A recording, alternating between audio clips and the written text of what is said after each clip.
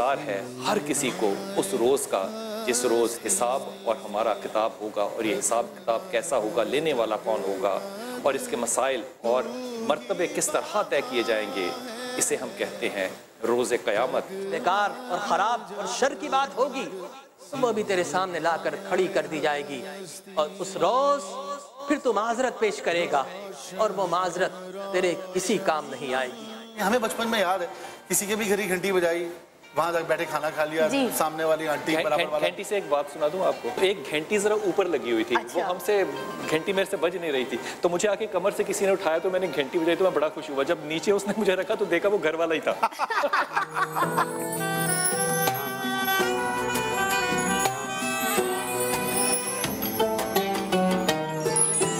Najashi का दरबार था जो हबशा में। उसके दरबार में वो कुरान की कौन सी सूरा थी जिसकी तलावत की गई? सूर्य मरियम।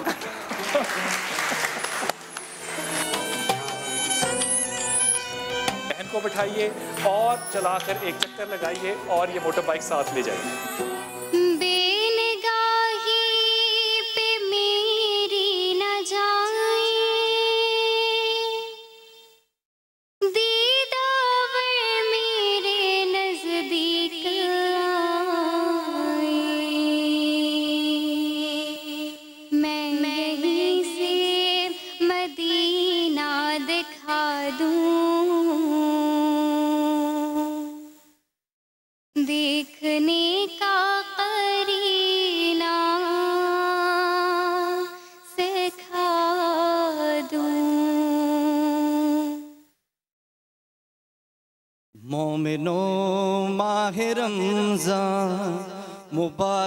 सबको मोमिनो, माह रमज़ान मुबारक हो सबको।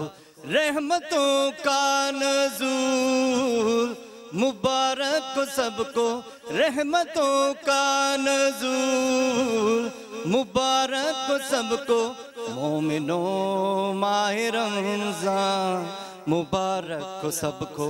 मोमिनो, माह रमज़ान मुबारक सबको। रोजेदारो, सुनो तुम जियो इस तरह। दिल में इश्क मोहम्मद होठों पे कुरान। जन्नतों के दरवाजे खुलेंगे वहाँ।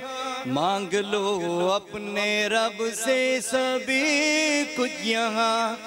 जन्नत का नज़ारा, मुबारक सबको।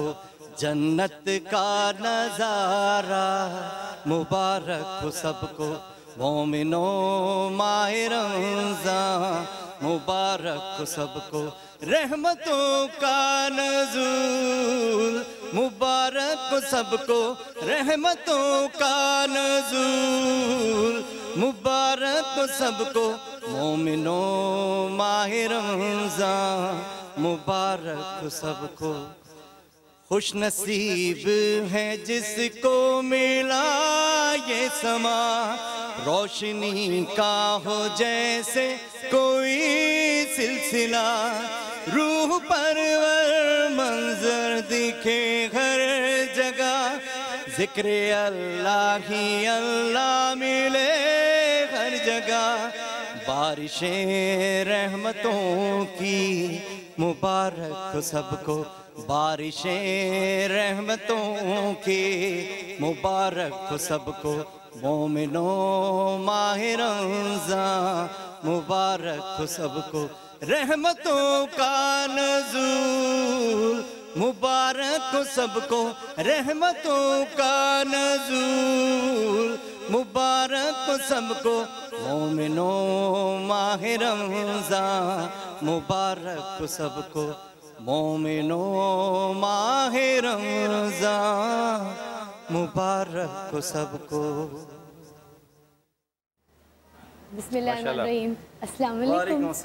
सलीम भाई ठीक ठाक है? अल्हम्दुलिल्लाह आप ठीक हैं? माशाल्लाह। बिल्कुल अल्लाह का शुक्र रमज़ान मुबारक। आपने वैसे ही अपने इंट्रो में ये पढ़ लिया इतनी प्यारी तरीके से इतने प्यार से सबको बोला कि मोमिनो माह रमज़ान मुबारक हो सबको तो एक बार कह भी दीजिए। जी मोमिनो तमाम मुसलमानों को रमज़ान की बहुत बहुत मुबारकबाद। ये महीना बड़े खुशकस्मत लोगों को हासिल होता है। अगर आप ज़िंदा हैं मौजूद हैं तो इस महीने को हासिल कीजिए क्योंकि अगले साल हम में से शायद कोई हो या ना हो तो इसी को हासिल कीजिए। अगर अगले साल ज़िंदगी हुई तो फिर हासिल करेंगे इंशाल्लाह इंशाल्लाह। सारी नेमतें रहमतें अल्लाह की हासिल कीजिए थैंक यू तशरीफ़ रखिएगा। नाजरीन जनाब बिलाल कुतुब साहब की जानब से मेरी जानब से आप सबको इफ्तार के समा में सब मिलके कहिए खुश आमदीद। ये ये मैं ज़रूर बोलती हूँ जैसे ही प्रोग्राम शुरू होता है। मगर आज ज़रा फिर एक कहानी से मैं कहती हूँ कि गुफ्तगू करते हैं या कोई बात शुरू करती हूँ उस तरह से। कि आपको समझ भी, भी आए। जब किसी के घर में बेटा पैदा होता है तो होता ये है कि माँ बाप बचपन में जैसे जैसे ही छोटा सा होता है तो सोच लेते हैं कि भाई ये बड़ा होगा तो हमारे बुढ़ापे का सहारा बनेगा हम हमें कमा के खिलाएगा। तो इसमें थोड़ी सी लालच भी शामिल होती है कुछ और कहीं मोहब्बत का तकाजा भी होता है थोड़ा बहुत इसमें कोई बुरी बात नहीं है कि बड़ा हो तो हमारा सहारा बने ऑल दैट मगर जब बच्चा नौजवानी में कदम रखता है। तो माँ बाप कुछ कुछ माँ बाप आप सबको मैं शामिल नहीं करी कुछ माँ बाप ऐसे होते हैं कि अपने बच्चे को कायल कर लेते हैं, बेटे को कायल कर लेते हैं कि हम तुम्हारे लिए एक बड़े घर से लड़की लेकर आएँगे, जो बहुत पैसे वाली होगी और तुम्हें नौकरी करने की ज़रूरत नहीं पड़ेगी, तुम्हें मेहनत करने की ज़रूरत नहीं पड़ेगी, तुम्हें दयानतदारी दिखाने की ज़रूरत नहीं है। अपने साथ वो गाड़ी, बाइक या फिर घर या फ्लैट लेकर आएगी। होता है, सुना होगा आपने। ठीक है? तो अब बेटे को जब इस बात पे कायल कर लिया जाता है तो उसको कहा जाता है कि तुम नौकरी तलाश ना करो, कुछ बनो मत। तुम्हें अगर ज़रूरत है तो सिर्फ़ इस चीज़ की कि तुम एक ऐसी लड़की की तलाश करो, जो हमें, हमारी आसाइशें पूरी करने में मदद करे, जो अपने साथ सब कुछ लेकर आए, हमारी ज़रूरियात ज़िंदगी को पूरी कर सके। अब वहाँ पे बेटा अपनी माँ अपने ख़ानदान के साथ मिलकर एक ऐसी लड़की की तलाश में निकल पड़ता है जो उनको ये चीज़ें मुयस्सा कर सके मैसर कर सके। अब फाइनली जब ऐसी लड़की मिल जाती है और घर में आ जाती है तो बेटा तो निकम्मा हो जाता है, आपको आदत पड़ जाती है कि आप फिर अपनी बहू को घर के अखराज चलाने के लिए उसको वसीला बना लें और बेटे को सिर्फ़ और सिर्फ़ घर बिठा लें। तो आज हमारा टॉपिक भी कुछ ऐसे लोगों के लिए ही है और हम कुछ ऐसे लोगों पे ही बात करेंगे। अस्सलाम वालेकुम बिलाल भाई। मुझे कुछ इसी तरह समझ आ रहा था कि मैं अपना इंट्रो दूँ क्योंकि बात ही कुछ ऐसी है कि एक ऐसी आज हम लानत के ऊपर बात करेंगे। सॉरी मैं लानत ही कहूँगी उसको कि ऐसी लानत के ऊपर बात करेंगे। जो माशरे में गाली बन चुकी है। अच्छा मुझे आपके इंट्रो पे शदीद इख्तलाफ है क्योंकि आप कहती हैं बिलाल साहब की तरफ़ से। बिलाल भाई की तरफ़ से। आप जब कहती हैं बिलाल साहब तो मुझे लगता है किसी और की बात हो रही होती है। बिलाल भाई। अपने मेहमानों से तारुफ कराएँ हमारे साथ हैं मिसेस खान जो कि मैरिज कंसल्टेंट हैं। अस्सलाम वालेकुम जी आप जोड़े बनाती है जी जोड़े बनाती है। और कौसर आमिर अस्सलाम वालेकुम। कौसर आपा आप और मिसेस खान जो है ना ये यकीन कीजिए आपका तारुफ करवाते हुए ना एम्बेरसमेंट होती है कि हम आपका क्यों तारुफ करवा रहे हैं? आप उतना ही हमारा हिस्सा है जितना कि हम इस जगह का हिस्सा हैं। और सलीम जवेद साहब हज़रत आप पहली दफ़ा तशरीफ़ लाए बहुत ममनून आपका बहुत शुक्रिया आपका। और हमारे साथ इन ताला होंगे शाह हुसैन गर्देजी साहब अभी तशरीफ़ नहीं लाए इन रास्ते में होंगे और खैरियत से पहुँचेंगे और लाहौर से तशरीफ़ लाए हैं अलामा खिज़ुरस्लाम नक्शबंदी साहब। अलामा साहब असल वालेकुम रहमतुल्लाहि व बरकातहू आप जिस मदरसे से आए हैं मैंने इस मदरसे की खाक बचपन में बड़ी छांटी है बड़ी मारे खाई है और बड़ी क्रिकेट खेली है यहाँ पे। मस्जिद के और मदरसे के दरमियान जो सड़क है अल्लाह ताला आपको खुश रखे। अब आपसे अगर मैं शुरू करूँ आप इजाज़त दीजिए। जहेज़ जो है आपके ख्याल में इस वक्त ये माशरे की अगर पिछले 25 साल देखें तो कोई तब्दीली आई है लोगों के रवैयों में जहेज़ मांगने में या देने में? या ये वैसा ही है जैसा था? मैं कहती हूँ मैं कुछ यूँ कहना चाहूँगी इस वक्त कि जहेज़ में बाज़ यहाँ जगह तो बिल्कुल कमी नहीं आई। बाज़ जो रवायात थी वो चल रही हैं। लेकिन अब ये है कि लड़कियों को इतना पढ़ाया जा रहा है इतनी अच्छी पोजीशंस पर है कि वहाँ पे जब लड़कियाँ इतना कमा रही हैं तो वहाँ पे फिर वो ये कि एक जहेज़ की डिमांड नहीं रहती। वो ये होता है कि ये लाएगी भी और कमा के भी हमें देगी। तो बाद में भी- जहेज देगी बाद में भी मतलब लेकिन उस वक्त ये इस तरह मुँह खोल के नहीं दिया जाता क्योंकि उनको पता है ये इतना कमा रही है। वेल ऑफ़ फैमिली की तो यहाँ पर तो जहेज आएगा। और फिर अब लड़कियाँ ऐसी देखी जा रही हैं जो कि प्रोफेशनल्स हों। आम लड़कियाँ लड़के वाले भी अब बीए लड़कियों को कंसिडर नहीं करते। अब वो चाहते हैं एसीसी हो एमबीए हो आईबीए की हो या डॉक्टर हो समथिंग लाइक दिस कुछ उसके पास स्टैंडर्ड जो है इस वक्त रिश्ते का वो तालीम है। तालीम है। सही। और ये मैं कहती हूँ ज़्यादा अच्छा लड़की और लड़का चूँकि मिलकर चलेंगे मिलकर गाड़ी चलाएँगे तो दोनों का पढ़ा लिखा होना और आजकल इतनी महँगाई है कि दोनों का घर चलाना अजब नहीं लगता आपको इतने तजर्बे के बाद कि माशरा इतना माशाल्लाह ताला पढ़ा लिखा हो गया उसके बावजूद माशरे की कदरें जो हैं वो ज़्यादा पस्त हो गई। ज़्यादा? पस्त हो गई। अब माशरे में आपको जितनी बुराई नज़र आती है वो अनपढ़ माशरा कंपैरेटिवली जब था उसमें कम था। अब माशरा मैं तो कह रही हूँ बिगड़ता ही जा रहा है दिन तो तालीम का क्या फ़ायदा हुआ? वो सीईओ बनने का या मास्टर्स करने का या एसीसीए नहीं करने का ये या है कि जहालत तो आपके यहाँ है ही ना कंटिन्यूसली आपके पास कितना अब आप तो फरमा रही ना तालीम इतनी हो गई और अब तालीम ही जो है वो ही जहेज़ है। अगर तालीम ही जहेज़ है और तालीम इतनी है भी आम जो कि है भी वो तो हम कह रहे हैं ना वो जहेज है? जहेज तालीम औरत का जहेज ही है। यही अब आपको मैं बताना चाह रही हूँ कि अगर वो उसके पास तालीम यूँ कह लें नहीं कि तालीम औरत का जेवर है। ये ज़्यादा अच्छा है और जहेज भी बन चुकी है। क्यों- क्योंकि वो आप दो- दो रो- एक जुमले की तो वो राय अपने दीजिए। आप को लेकर आगे चलेगी। ठीक है जहेज पे आपकी राय अच्छा पहले सॉरी बिलाल भाई आप उनसे एक सवाल करें। अच्छा कमाएगी तो अपने आप को लेकर आगे चलेगी। मुझे आपकी ये बात क्लियर नहीं हुई। किस सेंस में? आपको क्या लगा? इस- इस पे तो मैं काफ़ी ज़्यादा बोलूँगा ना अभी। हाँ बोले। मैं भी देखें एक्चुअली द थिंग स्टार्ट कि मैं भी मेरी बहन का भी सुन रही थी। आजकल का जो ट्रेंड और माइंडसेट है वो बहुत चेंज हो गया है ठीक? जो खानदानी लोग हैं वो लड़की जो मांगते हैं वो देखते हैं कि खानदान कैसा है लड़की कैसे है इसका ब्रॉटअप कैसा है वालिदैन कैसे है फैमिली क्योंकि फैमिली की जब शादी होती है just not boy and girl it's always दो खानदान मिल खानदान की शादी होती है जिसमें लड़की ने जाके वहाँ एडजस्ट करना होता है और इसी तरीके से लड़के ने भी इस फैमिली में एडजस्ट करना होता है इट्स लाइक वाइस वर्सा तो कहने का मकसद ये कि आप बिल्कुल तालीम देना मैं कहती हूँ कि आजकल नो दो डाउट इट्स नेसेसिटी कि हर शख्स चाहे वो गरीब हो चाहे वो अमीर हो आजकल इस चीज़ का एक्सपोजर इतना हो गया है कि लोग समझते हैं कि अपने बच्चे को आला से आला तालीम दो लड़का पैरों पे खड़ा हो लड़की भी अपने एटलीस्ट अपना नो हाउ रखती हो बेशक बाहर काम ना करे but at least she should have knowledge क्योंकि आगे उसने जनरेशन को संभालना है। कौसरा पर ये अजीब सी अजीब बात नहीं लगती कि पाँव पे खड़ा होना जो है ये शादी की शर्त है। अगर कोई बच्चा नहीं भी सारी उम्र पाँव पे खड़ा हो सकता तो वो शादी ना करे।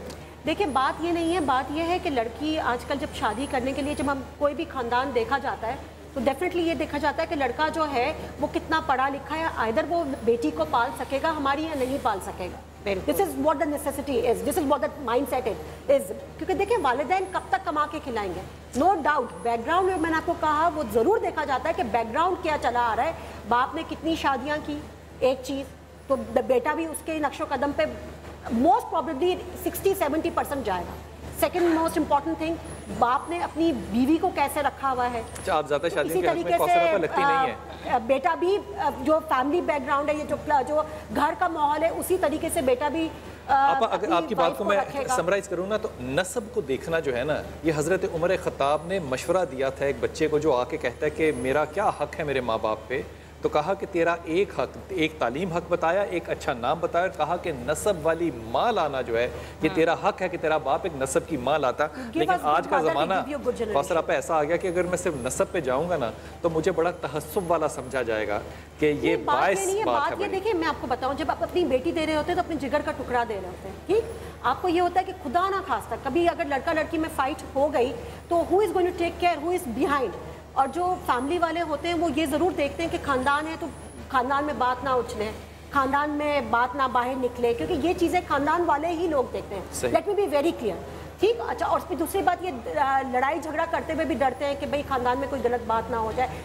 ये एक रिवायात है अच्छी फैमिलीज़ के अंदर। मैं कहूँगी खानदानी लोग ये चीज़ें ज़रूर नोट करते हैं। जिसका आगे पीछे कोई ना हो वो कल खुदा ना खासा बेटी को छोड़ दे या बेटी को कोई तकलीफ़ दे तो where where you are standing where your daughter is standing that is why I am saying आप मकसद में क्यों जाना? है लेकिन ये सवाल सवाल सवाल दो दो सवाल छोड़ के जा रहा हूँ। क्या पढ़ाना ज़रूरी क्या है। एक रिश्ते में जाने के लिए क्या इतनी इनसिक्योरिटी पहला कदम हमारा होगा कि कहीं छूट ना जाए। अगर इतनी गैर महफूज है हमारा माशरा और ये रिश्ता फिर हम तय कर क्यों रहे हैं? नहीं आपको आपको नहीं एक बात बताऊँ इनसिक्योरिटी नहीं है। Uh, वी हैव टू हम लोग अपनी अपनी बच्चों को बड़ा सेफ़ रखना होता है और डिवोर्स रेट इतनी बढ़ गई है लड़कियों में नहीं पेशेंस उसकी नहीं है। और है ना दूसरा उसकी वजह और है।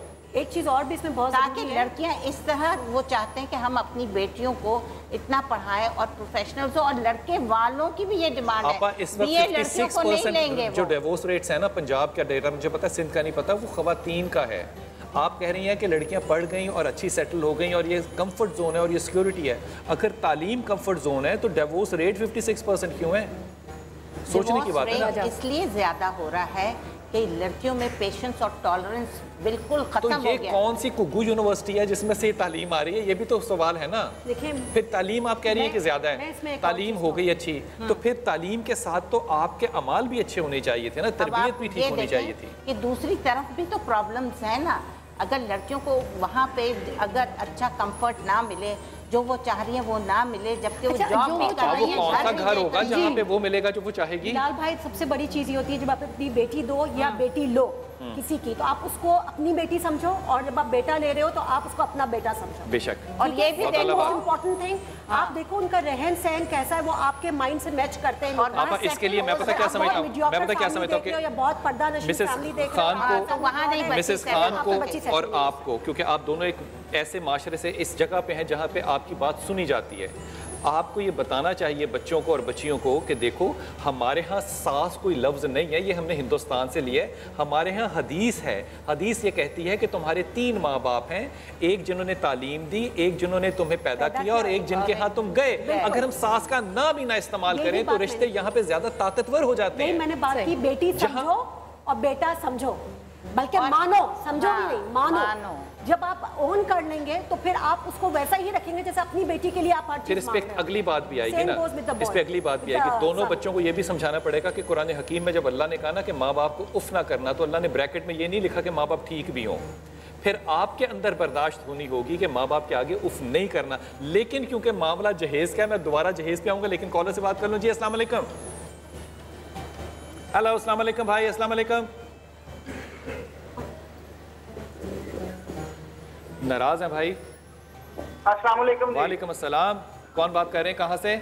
वालेकुम अस्सलाम। बिलाल भाई रियाज बात कर रहा हूँ कराची से। जनाब अली रियाज भाई खुश आमदेद आपको हमारे प्रोग्राम में। हुक्म फरमाइए। माशाल्लाह ताला आप ऐसा करें कि पहले टेलीविज़न को कर दें बंद क्योंकि ये जो लैग है ना डिस्टेंस है ये आप वहाँ से सुन रहे हैं और मुझसे बात कर रहे हैं। आप यहीं भाई से आवाज़ में टीवी की आवाज़ मैंने बंद की हुई है। जी, माशाल्लाह, मैं जहेज के टॉपिक पे बात करना चाह जी जी हुक्म हुक्म हुक्म कि हजूर सलाम ने जब अपनी बेटी फातिमा रज़ी अल्लाह तआला अन्हा का निकाह हज़रत अली रज़ी अल्लाह तआला अन्हो से फरमाया तो आपने इतना थोड़ा जहेज दिया जिसमें एक चक्की भी थी और इस तरह की छोटी छोटी चीज़ें तीन या चार रियाज भाई रियाज भाई रियाज भाई मैं हर तरह से आपसे छोटा हूँ सवाई उम्र के। मुझे फरमाइए कि क्या रसूल ने जहेज दिया था अपनी बेटी को? एक चक्की थी। एक चक्की और एक पानी का मशकीजा इस तरह की एक दो ये मैं बड़ा अदब से बात करूँ जब आप कहते हैं ना कोई ऐसी बात जो कि मेरे रसूल और मेरे अहले बैत से मंसूब होती है तो बड़े अदब से कहूँगा तहकीक किए बगैर मत करना क्योंकि हम बात कर रहे हैं ना जो इसको हम माशरे में लेकर जाएँगे और हदीस की सूरत में पेश करेंगे क्योंकि इस पे अगर आपने वाकई अपनी आँखों से तारीख को और मुस्बत तारीख को नहीं पढ़ा ना तो ये कहना कि रसूल पाक सल्लल्लाहु अलैहि वसल्लम ने जहेज दिया, भाई, उस वक्त तो हिंदुस्तान में कोई आया ही नहीं था तो जहेज कहाँ से आ गया? बिलाल भाई, ये बातें जो मैं बता रहा हूँ आपको, ये मैंने पढ़ी हैं, इसलिए मैं आपको बता रहा हूँ। मिसाल देना ये चाह रहा था कि जब इतनी बड़ी जात उन्होंने इतना कम दिया तो आजकल तो हमने शादी को सिर्फ़ एक बिज़नेस बना लिया हुआ है। हम शादी सिर्फ़ जहेज के पॉइंट ऑफ़ व्यू के लिए करते हैं। अच्छा, वो ये- ये- कितना इस- देंगे मैं इसलिए शादी रियाज रियाज भाई मैं इस पे इंशाल्लाह ताला गुफ्तगू अपने आलिमों से भी करता हूँ कि रसूल पाक सल्लल्लाहु अलैहि वसल्लम ने कैसा जहेज दिया और वो मिसाल भी सामने रखता हूँ कि रसूल पाक सल्लल्लाहु अलैहि वसल्लम ने जब अमाम अली करम अल्लाह से कहा था कि ये रिश्ता है तो अली का उस पर रद्दमल क्या था? और जब हम इतने खूबसूरत अंदाज से कहते हैं कि रसूल ने ये जहेज़ दिया था तो जहेज़ की रकम कौन और कहाँ से लाया था? ये मैं जो आपसे बात अर्ज़ करूँगा, आप जो वक्मा लूँगा, उसमें जाके गूगल कीजिएगा। मार्टिन लिंग्स जिसको कि अबू बकर सराजुद्दीन कहा जाता है, उसकी किताब है द लाइफ ऑफ़ मोहम्मद, और नीचे ब्रैकेट में लिखा होगा, फ्रॉम द ओरिजिनल सोर्स। ये किताब इतनी ही मोतबर है जितनी तकरीबन तकरीबन तफसीर इब्न कसीर है। जब आप तफसीर इब्न कसीर को भी देखेंगे और मार्टिन लिंक्स को भी देखेंगे तो आपको इसमें जो रवायत मिलेगी रियाज भाई थोड़ी सी मुख्तलिफ़ होगी जो इन ताला आपको हदिया ज़रूर करूँगा। हमारे बैठे हुए बच्चों में से और ख़वातीनों हजरात में से जो लोग हैं इस पे भाई उठना। मैं माइक लेके जाना। कुछ लोग थे जिन्होंने हमारे टॉपिक पे इस पे अपनी राय कह दिया था कि कुछ पूछना चाहते हैं सवाल हमारे इस टॉपिक से रिलेटेड कौन पूछना चाहेगा? जी बहन को दीजिएगा माइक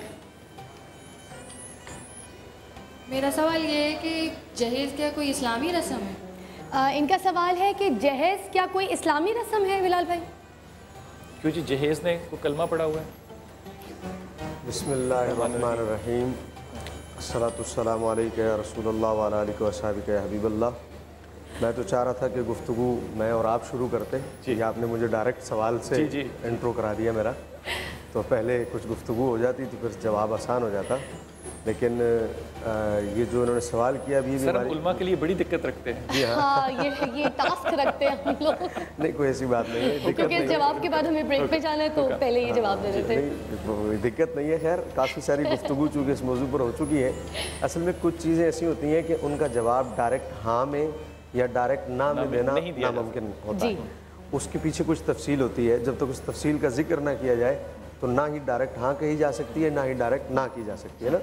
तो अब ये भी इसके पीछे थोड़ी सी तफसील तफसील आगे तफसील एक ब्रेक के बाद हाँ आपसे लेता लेकिन मतलब लेते हैं क्योंकि आपने तफसील बाद में सुनी है मैं आपको हतमी राय आपको दे दूँ कि जहेज का इस्लाम से दूर दूर तक का धूल तक का कोई वास्ता नहीं है। वापस आके मैं अपनी इस बात को जस्टिफाई करूँगा। अस्सलाम वालेकुम वरहमतुल्लाहि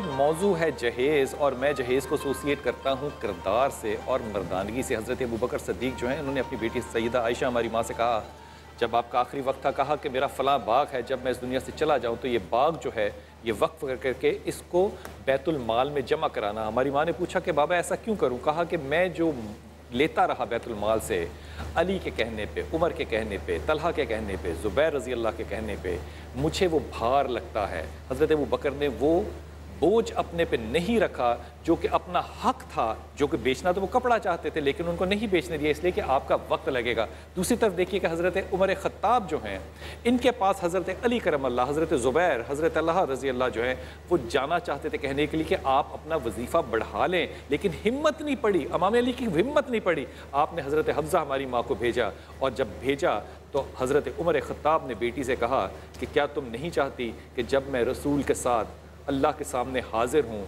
तो मैं भी उनके साथ खड़ा हूँ। तुम क्यों चाहती हो कि मैं शर्मिंदगी में जाऊँ? खातिन ये बात बताने का मतलब सिर्फ़ ये है कि अगर इन दोनों हस्तियों के नाम से अमीरुल मोमिनीन उतार भी लिया जाए तो ये ऐसी बाकिरदार मिसाल है कि जब मुसलमान अपनी मसाइल को कानून शिकनी कानून में तब्दील करना चाहते हैं तो फिर इन रवायतों और इन मसालों की कानून शिकनी हमें क्यों नज़र आती है? हज़रत, पहले आपकी तरफ़ तोज्जो करिए, फरमाइए कि ये जो इस्लामी रंग है जहेज़ का, इस पर तवज्जो कीजिए।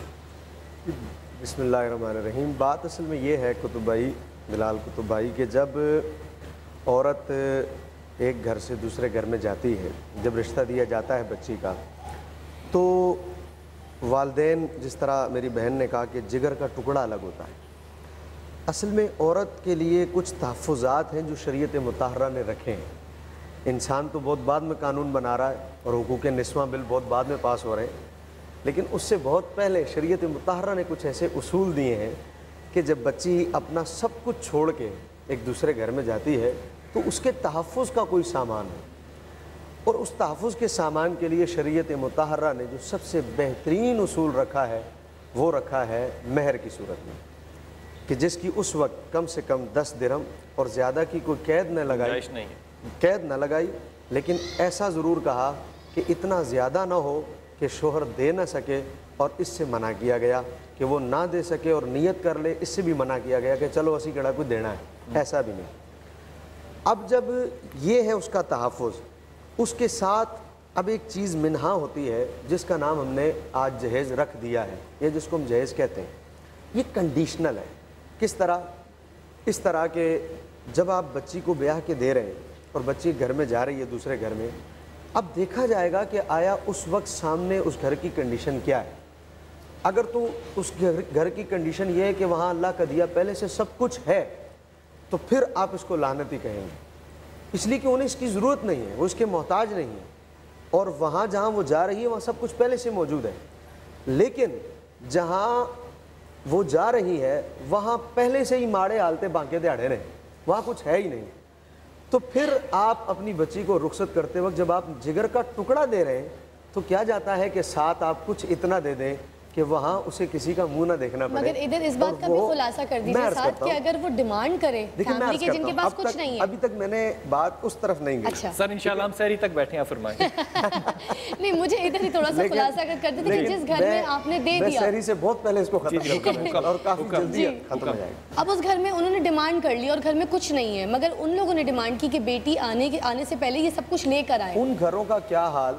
जहाँ बहुत कुछ है हुजूर- और जितना कुछ है वो उससे ज़्यादा की हजूर ये देखिए देखिए मैं मैं अर्ज़ अदब के तो साथ। अदब के साथ इसमें ना आप माशरती नफ्सियात को ना लाएँ बीच में ठीक है। माशरती हालात सोशियोलॉजी को ना डिस्कस करें ठीक है। आप लेकर आए इस्लाम का नुकता नज़र इस्लाम इस पे असूल की पाबंदी क्या लगाता है उसूल की? पाबंदी है ये अब आपने सवाल जो किया ना अब ये जवाब उस तरह बनता है पहले वाला सवाल जो था वो उसी तरह जवाब बनता था अब बनता है सवाल। bad question, जी। अब आपका सवाल बनता है कि इस्लाम ने देखें जहेज के लिए कोई उसूल और कवायद ना बयान किए नहीं बनाए। ना ज़िक्र किए हैं ठीक है? ना ये कहा है कि इतना इतना दे के भेजो।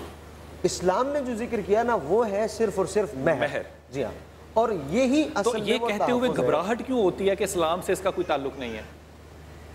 ये घबराहट क्यों है? असल में ये घबराहट तो खैर कोई नहीं है।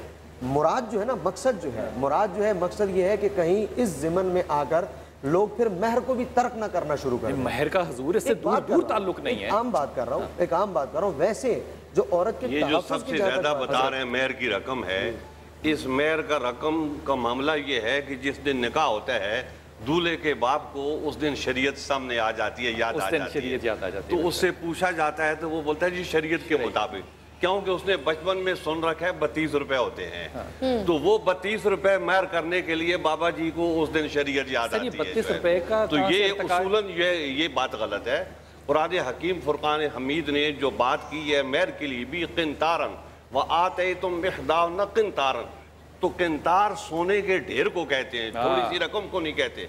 तो अगर आप जिस तरीके से इन्होंने कहा कम से कम जो है ना ये हद है और ज़्यादा से ज़्यादा की कोई हद नहीं है लेकिन शरीयत ने ये बात कही है कि मैर की रकम जो है वो कम हो तो हज़रत बोझ जो है, लेकिन ये जो जहेज हम देते हैं इसका कोई कायदा जबता नहीं है। किसी फिकी किताब में हमें ये हुक्म नहीं दिया गया हुजूर अक्रम वबारक वसल्लम ने कोई हुक्म नहीं दिया। कुरान ने कोई हुक्म जो है ना इस बारे में सादर नहीं फरमाया। तो ये हमने खुद अपने ऊपर एक जो है ना वो पाबंदी लगा रखी है।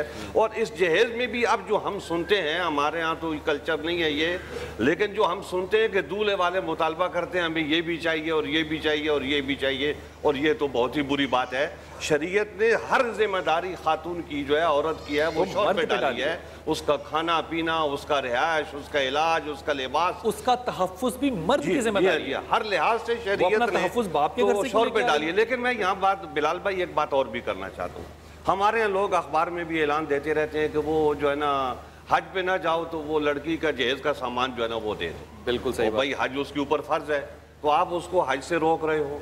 अगर वो उम्र अदा करना चाहता है तो आप उसको मेरी बात सुन ले। आप उसको है उम्रे। से रोकते हो और कहते हो कि इधर जहेज दे दे तेरा हज अदा हो जाएगा तेरा उम्र अदा हो जाएगा। ये बुनियादी तौर पे शरीयत के अमल से रोकने वाली बात है। ऐसा हरगिज नहीं होना चाहिए। अगर उनको ये बात कहनी भी है तो वो यूँ कहें कि वो जो रोज अमरीका पहुँच जाते हैं इतने पैसे लगा के वो जो रोज बरतानिया पहुँच जाते हैं वो इधर मैदान में आए और वो लड़की का जहेज दें। एक शरीयत के अमल से जो है ना वो रोकने की बात क्यों की जाती है? तो हम ये बात कहते हैं कि औरत की कोई है ना, ज़िम्मेदारी नहीं है। ईद वाले दिन भी होगी कि बकरे ज़िबा ना करें ये पैसे जो है ना किसी लड़की के जहेज पे दे दिए। उस दिन भी बहस होगी क्योंकि जिस दिन हमने कुर्बानी का जज्बा लाना होता है ना मुसलमानों में उस दिन सारों को याद आ जाता है कि कुर्बानी ना करें। आप ह्यूमनिज्म के तहत ये जनाब हाँ, कायम कर दें। मेरा इस पे जुमला ये होगा इंशाल्लाह ताला जब ईद पे बहस होगी कि हुजूर आप अपनी पराडो बेच के किसी की मदद कर हाँ, हैं, हैं। इनको तो कुर्बान होने दे जो सुन्नत इब्राहिमी है उस पर है। हज़रत आपने बेटे का शादी बीच में वो कर दिया था ना कि ना आपने कुछ सोचा?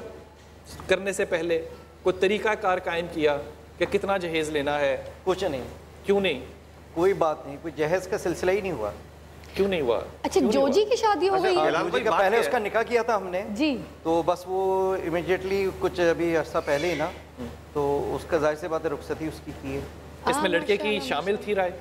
हाँ लड़के की भी लड़के लड़की हमारी फैमिली की सबकी राय शामिल थी। और कहीं ज़िक्र नहीं है क्या होगा हम लोगों ने मिलजुल कर किया। लड़की वालों ने लड़के वालों ने और हमने हक मेहर क्या रखा गया? वही नॉर्मल एक होता है इस्लामिक जो होता है। कितना होता अच्छा, है एक बात है। मुझे ग्यारह इस्लामिक हज़ार में रुपए के करीब ख्याल ये कितना होता है। नॉर्मल बिलाल बिलाल भाई एक इससे बात। कम नहीं हो सकता। नहीं होता ठीक और ज़्यादा के लिए कैद नहीं लगाई। पहाड़ हो और हज़रत उमर की लेकिन तभी फरमाई थी उस औरत ने लेकिन ये कहा कि कि जब- जब अगर शोहर इस नियत से कि लिखवा लो मेरा केड़ा कोई देना है तो उससे सख्त मना किया सख्त ऐसे के बारे में वहीदे भी बहुत वही है उसके बारे में। जी जी जी जी जी जी। अच्छा अब आप ये कह रहे हैं कि कहीं भी ज़िक्र नहीं हुआ जहेज देने का लेकिन मेहर का हुआ है ये बात बताएँ कि मेहर कितने लोग देते और ये भी बात सुना है सुनी गई है पता चला है मिसेस कि खान उसी सवाल पता है क्या बनता है? कि क्या मेहर के बगैर निकाह हो सकता है? ये जो बात आप कह रही है ना अच्छा, है, हिजाब कबूल होगा। जाता। हाँ। जो क्या मेहर की रकम जो है। को क्या मेहर देना कि तलाक के बाद भी ये मर्द हजरात मेहर नहीं देते। अच्छा एक सेकंड एक बात तो है एक बात अच्छी अच्छे जो वालिदैन होते हैं जो अपनी बेटी को बहुत प्यार मोहब्बत से हर इंसान ही पाल रहा होता है वो समझते हैं कि लड़का जो है अगर अच्छा और शरीफ पढ़ा लिखा मिल गया जो मेरी बेटी को खुश रखेगा वो कहते हैं पाँच सौ रुपये दो और बस खत्म। मेरे मेरे घर में मेरे अब्बा ने पाँच सौ रुपए तजर्बे की रोशनी में मैं आप तजर्बे की रोशनी में बात के हिसाब से मैं- पाँच सौ रुपये जो मैं, मैं दोनों बहनों से तजर्बे की रोशनी में बात पूछता हूँ। मुझे बताइए कि लड़का शरीफ है इसका क्राइटेरिया बीइंग मदर आपके दोनों के पास क्या है? देखिए क्राइटेरिया ये होता है कि लड़का जो है शरीफ है वो इस तरह से देखा जाता है कि रात को कोई पार्टीज़ में नहीं जाता हो ड्रिंक नहीं करता हो कोई गलत आदतें उसके अंदर ना हो और लड़का जो है माँ बाप को किस तरह से उसने रखा हुआ है अगर माँ बाप का एहतराम करता है दैट मीन्स कि वो एक फैमिली कल्चर को जानता आपके है ख्याल में- और मॉरल जब लड़का रिश्ता मगर एक बात मैं आपको क्लियर करूँ कि जब लड़का रिश्ता ख्याल रखता होगा वो बीवी का भी रखता वो क्या होता है कि माँ बाप का ही ज़िंदगी भर ख्याल रखता रहता है और बीवी को निगलेक्ट करता है। नहीं, नहीं, ऐसी ये बात देखा गया है। अच्छा जब लड़का आता है रिश्ता लेकर तो माँ बाप के उसके पेरेंट्स के सामने कभी भी वो अल्कोहल की कोई बोतल लेकर नहीं आता सिगरेट या इसका भी तो जवाब अपनी नहीं बताता कि मेरी गर्लफ्रेंड इतनी मेरा मोबाइल चेक कर ले कोई लड़का आके नहीं चेक is कि मेरी सारी सारी रात व्हाट्सएप पे किससे बातें होती है? second, a man is known ji. by his company, right? आप उसके फ्रेंड्स में देख लें उसका उठना बैठना किस लोगों में है आपको पता चल जाएगा। लड़का कहाँ है और है, कैसा है? अच्छा मुझे इसमें थोड़ी सी हैरत पता है क्या होती है कि हम जब भी जज कर रहे हैं ना किरदार को तो हम जज कर रहे हैं किरदार को माशरती पहलुओं से। मेरा ये ख्याल था कि हमारी हमारी माओ को हाँ। हमारी बहनों को ये पता होना चाहिए कि किरदार जज करने की यार्ड स्टिक क्या होनी चाहिए। अगर ये यार्ड ये तो सारी ज़िंदगी नहीं पता चल सकता कि वो चुपके शराब पीता है। सारी ज़िंदगी नहीं पता चल सकता वो दो नंबरी कौन सी करता है। ये यार्ड स्टिक जब माशरे में नहीं होगी हज़रत तो फिर वो रैंडम गेम चल रही होगी फिफ्टी परसेंट जो भाई एक जुमला कहा है ना देखिए एक ये अहम कॉल तरीन बात है। अभी ले लेते हैं कॉल ले लेते हैं एक मिनट। ये अहम तरीन बात है देखिए एक है माशरती किरदार और एक है इस्लामी इकदार। अगर आप इन दोनों को समझना चाहेंगे एक साथ इस मौजू को हम समझ नहीं पाएँगे। ये बात बिलाल भाई की अहम है कि पहले तो आप सिर्फ़ इस्लाम की बात करेंगे इस्लाम क्या कहता है इस मौजू के मुतालिक। फिर आप उसके बाद जाएँ कि अब माशरे की क्या क्या गलतियाँ हैं। फिर तो हम इसको आसानी से समझ पाएँगे। जी जी अच्छा, कॉल हमारे साथ है काफ़ी वालेकुम। देर से होल्ड पे अस्सलाम वालेकुम जनाब अली कौन बात कर रहे हैं? कहाँ से भाई? मैं बिलाल बात कर रहा हूँ से ही से? बिलाल साहब आप बिलाल साहब से ही बात करें। बिलाल भाई भी आपसे मुखातिब है। माशाल्लाह कितना खूबसूरत नाम है बिलाल आपका। बहुत शुक्रिया सर। इसे कहते हैं नार्सिसिज्म। हुक्म फरमाइए। माशाल्लाह। अच्छा सर जी सबसे पहले ये आपकी बातें सुन के बहुत खुशी महसूस होती है। हुक्म हुक्म हुक्म फरमा दीजिए। अच्छा दूसरा सर ये था कि ये जो जहेज के बारे में आप बात कर रहे हैं उसमें ये पूछना था कि अगर कोई एक शख्स गरीब है जिसका कोई कारोबार नहीं है तो अगर वो सामान वगैरह जहेज नहीं उसकी जगह अगर उसको कुछ पैसे दे दिए जाए उसका वो काम वो कर ले। तो इसके बारे में क्या ये यार मैं अदब से एक जुमला कहूँ आपकी बात मेरे तक पहुँच गई। मेरे भाई बिलाल भाई और मैं एक बहुत बड़ी पाकिस्तान की यूनिवर्सिटी में जिसमें कि नब्बे फ़ीसद नंबर ना ना हो तो वहाँ बचियाँ नहीं जा सकती। तीन सौ लड़कियों को एक टॉक दे रहा। और मैंने टॉक के शुरू में उनसे कहा कि मुझे ना कोई ऐसे तीन लफ्ज़ बताओ जिससे पता चले कि तुम लोग इन हदूद पर चल के अपने आने वाले आदमी को चूज़ करोगी। उन लड़कियों ने पहले ज़रा ही ही ही किया। उसके बाद मैंने बोर्ड के ऊपर हज़रत 107 लफ्ज़ लिखे, जिनमें टॉल था डार्क था हैंडसम था इंडिपेंडेंट था एजुकेशन था फलान किसी लड़की ने ये नहीं कहा कि वो वो ईमानदार हो। किसी लड़की ने ये नहीं कहा कि वो हलाल और हराम का फ़र्क करना जानता हो। जब वो माएँ जो बनने वाली हैं उनके पास यार्ड स्टिक नहीं है जज कैसे करना है? तो हुजूर फिर इसमें से वही निकलेगा जो कि निकल रहा है इस वक्त। ये इतनी कॉम्प्लिकेशन है। हज़रत ईमानदारी से मैं पता आपसे क्या चाहता हूँ कि आप मुझे बताएँ कि शराफत की जजमेंट क्या आप इसके ऊपर ना एक बहुत बड़ी तकरीर नहीं कोई भी करे। एक जजमेंट क्या है कि ये शख्स शरीफ है अगर इसमें यह खसूसियत है। एक लफ्ज। एक लफ्ज। नहीं एक लफ्ज। मुश्किल है सर। अगर मैं देखें बताती हूँ। अगर एक आदमी जो है अपने जहर के हिसाब से शरीयत के निज़ाम के हिसाब से चल रहा है तो वो आदमी वैसे नमाज़ पढ़ता हो अल्लाह ताला बुराइयों से रोकता है। एक लफ्ज। आपा ईमानदार हो। ईमानदार हो। वक्फे पे जाते हैं और मेरा लफ्ज़ यह है कि अखर कोई लड़का, और मैं अपनी बेटी के लिए कह रहा हूँ, अखर मेरी बेटी ऐसा मुझे शख्स दिखाए, ऐसा रिश्ता दिखाए, और मैं ये जानता हूँ कि ये शख्स जो है, ये हलाल और हराम का फ़र्क करना जानता है, मैं अपनी बेटी का रिश्ता उसको ज़रूर दूँगा। असल वरहमल वरहमतुल्लाहि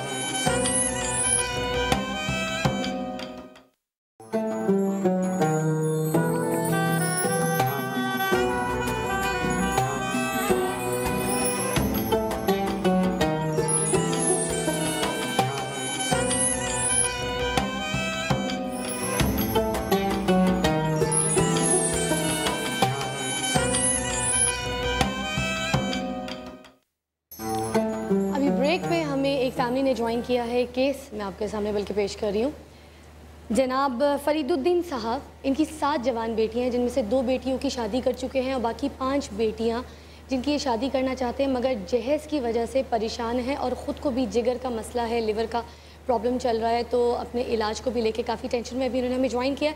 मगर वही बात आ गई कि जहेज़ की प्रॉब्लम तो एक मिसाल भी हमारे साथ है और आप लोग भी कॉल करके इस तरह से पूछ सकते हैं तो आप बताइए गर्देजी साहब, कि ये देखिए जो सात बेटियाँ हैं दो बेटियों की शादी कर चुके हैं उधर भी जहेज़ का प्रॉब्लम रहा इनको। अब बाकी की जो पाँच बेटियाँ हैं जिनकी शादी करना चाह रहे हैं वहाँ पे भी जहेज़ की डिमांड की जा रही है कि ये परेशान है बीमार हैं। अब वो जहेज़ का इंतज़ाम करें या बेटी के लिए कोई अच्छा लड़का ढूंढें मतलब? देखें ना ये हमारा माशरा है और ये माशरे में गलत रिवाज है। जी। और कुछ इसमें जो पीछे ज्यादती होती है उनके भी असरात हैं। मसलन लड़की है वो बेचारी को मीरास बाप की देता कोई नहीं है। जी। वो भाई जो है ना वो सारी पे कब्जा कर लेते हैं। हाँ। और ये इस ख्याल से है कि भाइयों से लड़ाई कौन मुँह ले तो बोलती ही नहीं है। तो अल्लाह ने उसको ये हक दिया और हमारी हुकूमत ने भी उसको दे रखे हम उसको ये हक नहीं देते। तो बाहर कैफ ये जहेज़ का जो लोग मुतालबा करते हैं इस तरीके से तो ये तो नहायत ही नाइंसाफ़ी की बात है जुल्म की बात है। अगर माँ बाप के पास फरावानी हो जिस तरीके से पहले बात हो रही थी तो कोई अपनी बेटी को कोई तोहफा देता है कोई हदिया देता है तो शरीयत इसके ऊपर कोई पाबंदी नहीं लगाती। अगर शरीयत पाबंदी नहीं लगाती तो फिर जब हम ये कहते हैं कि रसूल पाक सल्लल्लाहु वसल्लम ने अपनी बेटी सैयदा फातिमा को जहेज दिया इसकी तफसीर फरमाइएगा हुजूर अकरम वबारक वसल्लम ने जो कुछ सैयदत फातिमा ज़हरा रज़ी अल्लाह अन्हा को दिया है तो वो इसलिए दिया है कि हज़रत अली के घर में और कोई था ही नहीं उस वक्त जो है। तो वो एक नया मकान था उसमें ना सोने के लिए बिस्तर था ना कोई चारपाई नाम की कोई चीज़ थी ना कोई तकिया था ना पानी रखने का मटका और मशकीज़ा था और ना पानी पीने का गलास था। तो हजूर अक्रम सबारक वसलम ने दो चार चीज़ें उनको हिदायत फरमा दी ताकि वक्ती तौर पर इनका काम जो है ना वो हदिया उसे हदिया दिया। जी हदिया दिया। सर उसका हदिया रख दें प्रेजेंट रख दें देखो अकरम सल्लल्लाहु अलैहि देखे ना। अगर तो ये जहेज है रसूल पाक सल्लल्लाहु अलैहि वसल्लम ने अगर तो जहेज दिया है तो फिर जहेज देना सुन्नत क्यों नहीं है? नहीं सर वो जहेज नहीं अकरम बात ज़रूरत मैं बताता देखें वो अकरम भी थी। हाँ। आपने उनकी भी शादियाँ की हैं। उनको आपने कोई चीज़ देने के सबूत नहीं है। सिर्फ़ हज़रत मेरे रसूल ने अगर एक दफ़ा ज़िंदगी में एक चीज़ की की है कदर है तो वो सुन्नत क्यों नहीं है? वो खासा हो सकता है वो सुन्नत नहीं वो, वो हदीस तो होती है। हो सकता है। वो सुन्नत नहीं होती। क्यों सर? सुन्नत वो होती है जो मामूल बेहा होती है। कि हजूर अक्रम सल्लल्लाहु अलैहि वसल्लम ने क्या वो सुन्नत नहीं होगी करता हूँ ना कि सुन्नत वो होती है जो मामूल बिहा होता है कि हजूर अक्रम सल्ला वबारक उस पर अमल करते आए हैं और आपके सामने आपके सहाबा कराम जो है उस पर भी अमल वो भी करते थे। तो ऐसा कोई सबूत जो है ना इस इस बात का मौजूद नहीं मैं ना बात। ये जो चीज़ है सवाल का जवाब दो टोक दे। आप मुझे दो टोक जवाब मैं आपसे सर दो टोक जवाब ये आपको ये आपने नहीं सर नहीं सर नहीं सर अगर ये होता। देखिए हमारे बेटियों का मामला है करेज आप मुझे कहें कि ये सुन्नत नहीं है या आप मुझे ये कहें कि ये सुन्नत है? देखिए दो टोक जाए। जहेज सुन्नत नहीं है। देख तो फिर रसूल पाक सल्लल्लाहु अलैहि वसल्लम ने जो दिया नहीं होना चाहिए। सर जो रसूल पाक सल्लल्लाहु अलैहि वसल्लम ने आपके बकौल दिया हम्म। वो रसूल का अमल सुन्नत नहीं है। आप कहें नहीं है। ना ना ना ये बात फिर आप क्या कह रहे हैं आप हजूर अकरम सल्लल्लाहु अलैहि वबारक वसल्लम का हर हर अमल जो है वो दलील राह है वो मशाल राह है। आपने अभी कहा कि नहीं ये बात हो वो है। हर हर अमल आपका दलील राह है। लेकिन एक चीज़ जिसको सुन्नत करार पाते हैं सुन्नत की तारीफ़ ये होती है कि वो मामूल ब्याह हो उसके ऊपर हजूर अक्रम सल्लल्लाहु जैसे अब आप जो है कुली करते हैं वज़ू में ये सुन्नत है। नाक में पानी डालते हैं ये सुन्नत है कि ये आपका मामूल था इससे हम उसको सुन्नत कहते हैं। मैं आपकी बात समझ रहा हाँ। आपका सवाल समझ में आ गया है।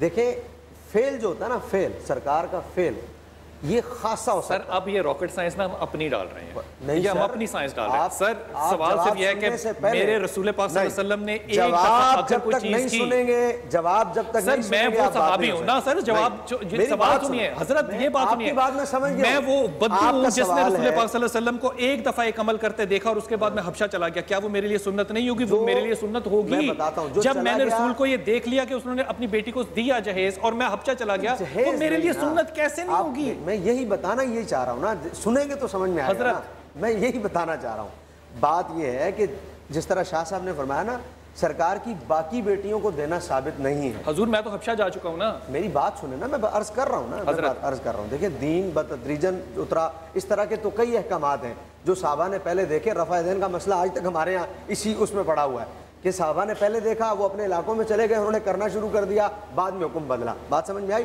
यही वो चीज़ है, लेकिन दीन बाद में मुकम्मल हुआ। फिर दूसरी बात, जिन लोगों ने हजूर को इस तरह देखा, फिर वो अपने इलाकों में चले गए। अगर उन्होंने उस पर सुन्नत समझ कर अमल किया तो उन्हें अल्लाह ताला उनकी नीयत का सवाब देगा। लेकिन लेकिन हम उसको सुन्नत नहीं मान रहे। हाँ, हम नहीं इस पर इतलाक नहीं होगा क्योंकि मैं भी सुन्नत का इतलाक इतलाक नहीं होगा उसकी वजह ये है। मतलब सर उसकी वजह ये मेरी अगली बात सुन लें। मेरी उसकी वजह ये है कि फेल जो है ना फेल सरकार का ये खासा हो सकता है। और सुन्नत वो कहलाएगा जो सरकार ने जिस तरह शाह साहब ने कहा अक्सर किया हो और फिर साथ का साथ में उसका कहा हो। हम तो हमें क्या ये ज़रूरत होनी चाहिए कि हम रसूल पाक सल्लल्लाहु अलैहि वसल्लम के कामों को खासा और सुन्नत में तकसीम करें? नहीं भाई हम तकसीम अगर आप इसको और आप इसको नहीं करेंगे और आप हजूर के इस अमल को अगर सुन्नत करार देंगे तो फिर टीवी पर आपने लानत लिखा हुआ इसको। क्या कर सकते हैं फिर? नहीं, नहीं नहीं नहीं आप टीवी पे ना जाए। आपने तो अल्लाह को जान देनी है टीवी को थोड़ी जान देनी है। बात कर ले। अब वैसे बात कर लें हमारे टॉपिक में मैं आज पता क्या करता हूँ? हमारे टॉपिक में लिखा हुआ है जैसे एक लानत अगर ये सुनना था फिर लानत कैसे? हज़रत ये टॉपिक जो है ना ये आपकी पाबंदी नहीं है। आप इसके ऊपर जाए नीचे जाए जैसे मर्ज़ी जाए। मैं अर्ज़ ये करना चाह रहा हूँ हज़रत कि अखर ये बात सच है कि रसूल पाक वसल्लम ने दिया तो रसूल पाक ने जब हज़रत अली से मशवरा किया शादी का तो रसूल पाक वसल्लम ने हज़रत उस्मान को क्या बेचा था जाके? अपनी जरा बेची थी। क्यों? अपनी जरा बेची मेयर के लिए। और वो अब ये देखे ना ये आ गई बात ये आ गई बात शुरू में जो मैंने यही बात है। यही बात शुरू में हाँ, ये असल बात है कि सारा सारा जो है ये दूल्हा के ऊपर है। सारा बोझ जो है ना और अच्छा, कोई तो बोझ जो, उन्होंने लिया था जो उन्होंने बेचा चार सौ अस्सी सर चार सौ अस्सी पे बहस नहीं करें। वो सारा मेहर था। जी। ये आप आप कहें कि हाँ वो सारा मेहर था। मतलब उसमें से अब वो मुझे एग्जैक्टली तो वो याद नहीं, नहीं, है लेकिन। कुछ उसमें से वो था कि अगर- जी जी अगर वो आप कहें कि वो सारा मेहर था मैं आप बात सुन तो लिया करें ना आप बात सुनते जी, नहीं। सवाल कर देते हैं जवाब हज़रत, सुनने के लिए तैयार नहीं होते। कि हुजूर अकरम सल्लल्लाहु अलैहि वबारक वसल्लम ने वो हज़रत अली से फरमाया और उन्होंने वो बेच के आपको ला के दिया जब आपको ला के दिया तो आपने उससे चंद चीज़ें खरीद ली उसमें खुशबू भी खरीदी कुछ और चीज़ें भी खरीदी और वो खरीद के जो है ना वो आपने वहाँ इस इस्तेमाल हमारा कहने का मतलब यह है ये दलील है इस बात की कि सारा बोझ जो है ना वो दूल्हे के ऊपर मतलब ये हुआ कि जहेज दिया वो हज़रत अली की कमाई में से था। वो हज़रत अली की कमाई में से नहीं था ये हम नहीं कहते। वो जो वो जो जरा बेची हज़रत अली ने और उसके पैसे नबी अकरम अलैहिस्सलाम को ला के दिए और वो पैसे जो है ना हजूर अक्रम सल्लल्लाहु अलैहि वबारक वसल्लम ने वहाँ इस्तेमाल किए उनकी शादी में जो है। और अच्छा वो sorry not being a host but being ये जो आप बात कर रहे हैं ना कि हुजूर अकरम सल्लल्लाहु अलैहि वसल्लम क्या ने है? अपने पैसे मतलब ये दिया भी है तो ये हदिया है ये तोहफा है। नहीं ये ये वो आगे बात सुन्नत पर नहीं हो सकता। अच्छा। जहेज का इतलाक सुन्नत पर नहीं सुन्नत पर नहीं हो सकता। ये बात क्या हम मानते हैं कि अली ने जो जर्रा भाई हमारे और उस्मान को बिलाल साहब बिलाल साहब हमारी कुतुब जो है ना। हमारी मानते हैं बात। हाँ जी वो पैसे कर और वो पैसे कैसे मोहम्मद ने तकसीम किए ये सल्लल्लाहु वसल्लम ने ये हमें इस पे नहीं जा मैं जा रहा कैसे तकसीम किए? लेकिन उन पैसों से आपने वो चीज़ें खरीदी जो कि सैयदा माँ फातिमा को दी। जी और उसमें महर भी मुकर्रर हुई उसमें। महर भी मुकर्र हुआ उसमें वो दो ऊँट भी मुकर्र हुए जिनका के बुखारी में ज़िक्र है जिसको कि हज़रत हमजा ने रज़ी अल्लाह ने जिनके के कोलू ऊपर से काटे थे। ऐसा ही है। तो हुजूर फिर जहेज जो है वो बाप के हिस्से में कैसे आया? वो तो शोहर के हिस्से में आया। अच्छा अब इतनी दूर जाके अब आप खुले हैं। हज़रत। अरे बिलाल भाई हमें पहले बता देते। हज़रत इतनी आ- दूर आ, जाके अब आप खुले तवज्जो का मोहताज हूँ ना। आपसे तवज्जो का मोहताज हूँ। पहले बता देते हैं आप ये कहना चाह रहे हैं। अब ये समझ में आई आप जो कहना चाह रहे हैं अब बात समझ में आई कि बोझ बने तो शोर पर बने। तो बात बने? हाँ इस वो जो वो जो सर, ये, ये जो हम कहते हैं ना कि बीबी को रसूल ने। दिया। ये बात जो है इसको जी, जी, दीन जी, का रंग दे देते हैं। हाँ मैं अब ये आपकी कोई दीन का रंग नहीं है। जी जी जी। अगर शौहर मैं अदब से अर्ज़ कर रहा हूँ। जब अमाम अली करम अल्लाह अपनी जर्रा बेचेंगे ना खुदा की कसम ये बिल्कुल ऐसी बात है जैसे एक शख्स निकाह के लिए अपनी इज़्ज़त को दाव पे लगा रहा हो। जी। इतनी गैरत की बात है हम इस गैरत की बात को इतना कमज़ोर करके लोगों के आगे पेश करें कि वो रसूल ने रसूल पाक सल्लल्लाहु अलैहि वसल्लम ने कब दिए? अली ने लाकर पैसे दिए। आपने जैसे चाहा उनको तकसीम किया। अब गौर कीजिएगा ये मैं अगर ये दो टोक बात करूँ हज़रत अदब के साथ तो खुदा की कसम इस्लामी माशरे में कोई जहेज की कंफ्यूजन नहीं है। सही कह रहे हैं आप। अब मैं आपकी बात समझ गया हूँ। आप जिस नतीजे पे लाए बड़े अच्छे अंदाज से लाए लेकिन उसमें एक बात है। देखिए अब ये बात जो आपने कर दी ना अब इसके बाद शुरू होती हैं इस्लामी माशरती कदरें। बात ये कि अब ये बातें अगर कुछ समझता हो जो आप कह रहे हैं तो फिर तो गालिब हो गई। पर यहाँ तो वही बात है ना कि पहले घर होया उन्हें आखना नहीं जनाब जिन्ना साढ़े घर है तो वध आएगा तो कुड़ी आएगी नहीं तो नहीं आएगी तो अब ये तो फिर हमारी माशरती कदरें ना जो खराब है। हज़रत मुझे उस माशरे को जान नहीं देनी मुझे जान देनी है तो अल्लाह और अल्लाह तो के तभी रसूल आएगी को। बेहतरी तो तभी आएगी नहीं, नहीं, तभी। जब मैं हमारे यहाँ से एक पैगाम जा रहा है। जब मैं यहाँ से एक पैगाम जा रहा है ना सर तो जब मैं अपने रसूल की मैं अपने रसूल की अपने रसूल के खानदान की अमीरुल मोमिनीन की सहाबा की ताबईन की तबा ताबईन की जब मैं उनकी कदरें माशरे में ऐन लाऊँगा तो इस्लामी माशरा बनेगा ना। कदरें मैं लेकर आऊँ हिंदुस्तान से। उसके लिए तो फिर आपको आपकी हुकूमतें आपका पूरा मेरी तरफ़ से खुदा की कसम आग लगाएँ लेकिन कायम वही रवायत होगी जो कि रसूल और अल्लाह हमारे यहाँ जो चीज़ बुनियादों से नहीं शुरू होती ना अच्छा। देखें एक ये है कि हम एक टीवी पे प्रोग्राम कर रहे हैं एक बात यहाँ से जानी चाहिए और एक बात वहाँ से जानी चाहिए कि जब माँ अपने बच्चे को उंगली पकड़ा के स्कूल लेके जाती है ठीक है ना? और वहाँ उसको समझाया जाता है। वो पहला उस्ताद जिसने आपने उधर से भी जानी अच्छा, चाहिए। एक मेंबर से भी जानी है मदरसे से भी जानी तभी होगा ना। सब जगहों और से एक हुकूमत से भी आनी चाहिए, तभी हज़रत जो है होगी। वो माशरे की बात कर रहे हैं। तो अब माशरे की एग्ज़ाम्पल सबसे पहले तो हमारे सामने यहाँ पे फरीद साहब बैठे हैं। ज़रा उनसे भी बात कर लेते तो जब माशरे की कदरें माशरे के लोगों की बात करें तो एक एग्ज़ाम्पल पहले यहाँ पे क्लियर हो जाए तो फिर और ज़रा इस टॉपिक पे बात करेंगे। जी फरीद आप फरमाइएगा कि क्या इशू है क्या मसाइल है जिनको क्या आप देख रहे हो? असल मसला जो है जिगर की बीमारी का मुझे है। कहते हैं, वो कोई काम धंधा नहीं कर सकता। ठीक है? अब बेटी की शादी अलकरीब होने वाली है। गैस के लिए मुकम्मल कोई इंतज़ाम नहीं है। मैं आपकी इन्हीं बातों को ज़रा एक कहानी की सूरत में अपने नाजरीन को दिखा दूँ? खबर ज़रा नाजरीन, जाके देखिए ज़रा इनका एक पैकेज और बात को समझिए और फिर आके हम इनसे बात करते हैं।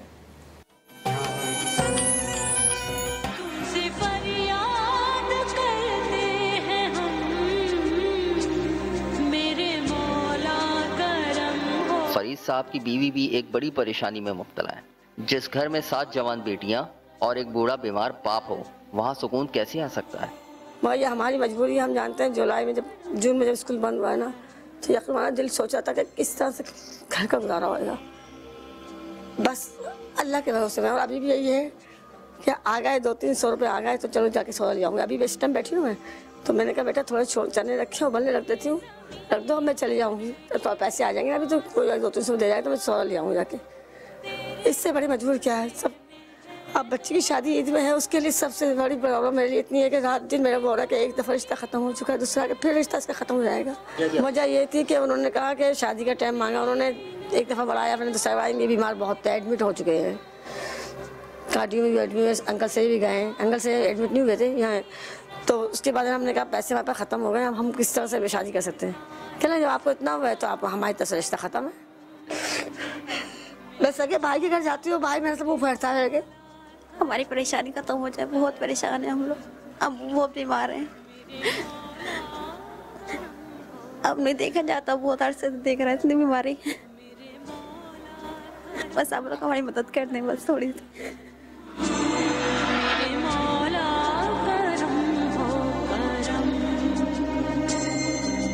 स्कूल के हेड मास्टर फरीदुद्दीन साहब, जितने सादा अपने स्कूल में हैं, इतने ही सादा अपने घर में अपनी बेटियों के साथ। माँ बाप की ख्वाहिश कि बेटियाँ रुखसत होकर पराए घर जाएँ और बेटियाँ चाहती हैं कि बाप का इलाज हो जाए।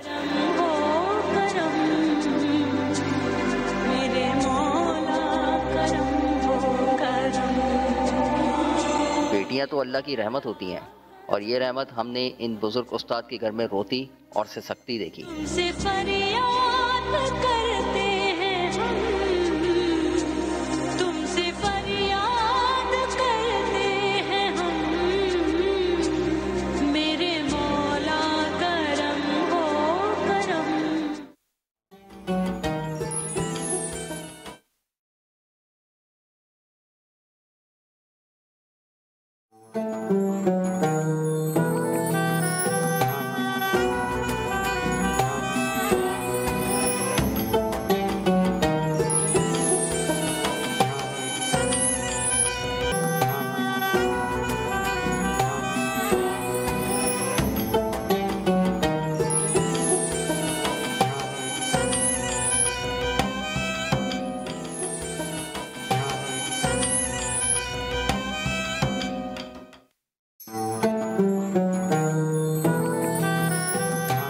बिस्मिल्लाहिर्रहमानिर्रहीम। ख़वातीन हज़रात जहेज़ पे बात हो रही है और नुक़ नज़र जो है वो बड़ा वाज हो गया लेकिन हमारे पास जो केस था, जो फरीद साहब का, जिनकी साथ माशाल्लाह बेटियाँ हैं, दो जो हैं वो शादीशुदा हैं और अब उनको अपना भी एक मेडिकल प्रॉब्लम है और बेटियों की शादी से भी वो परेशान है और परेशानी का जो न्यूक्लियस है, वो कि लोग जहेज़ डिमांड करते हैं।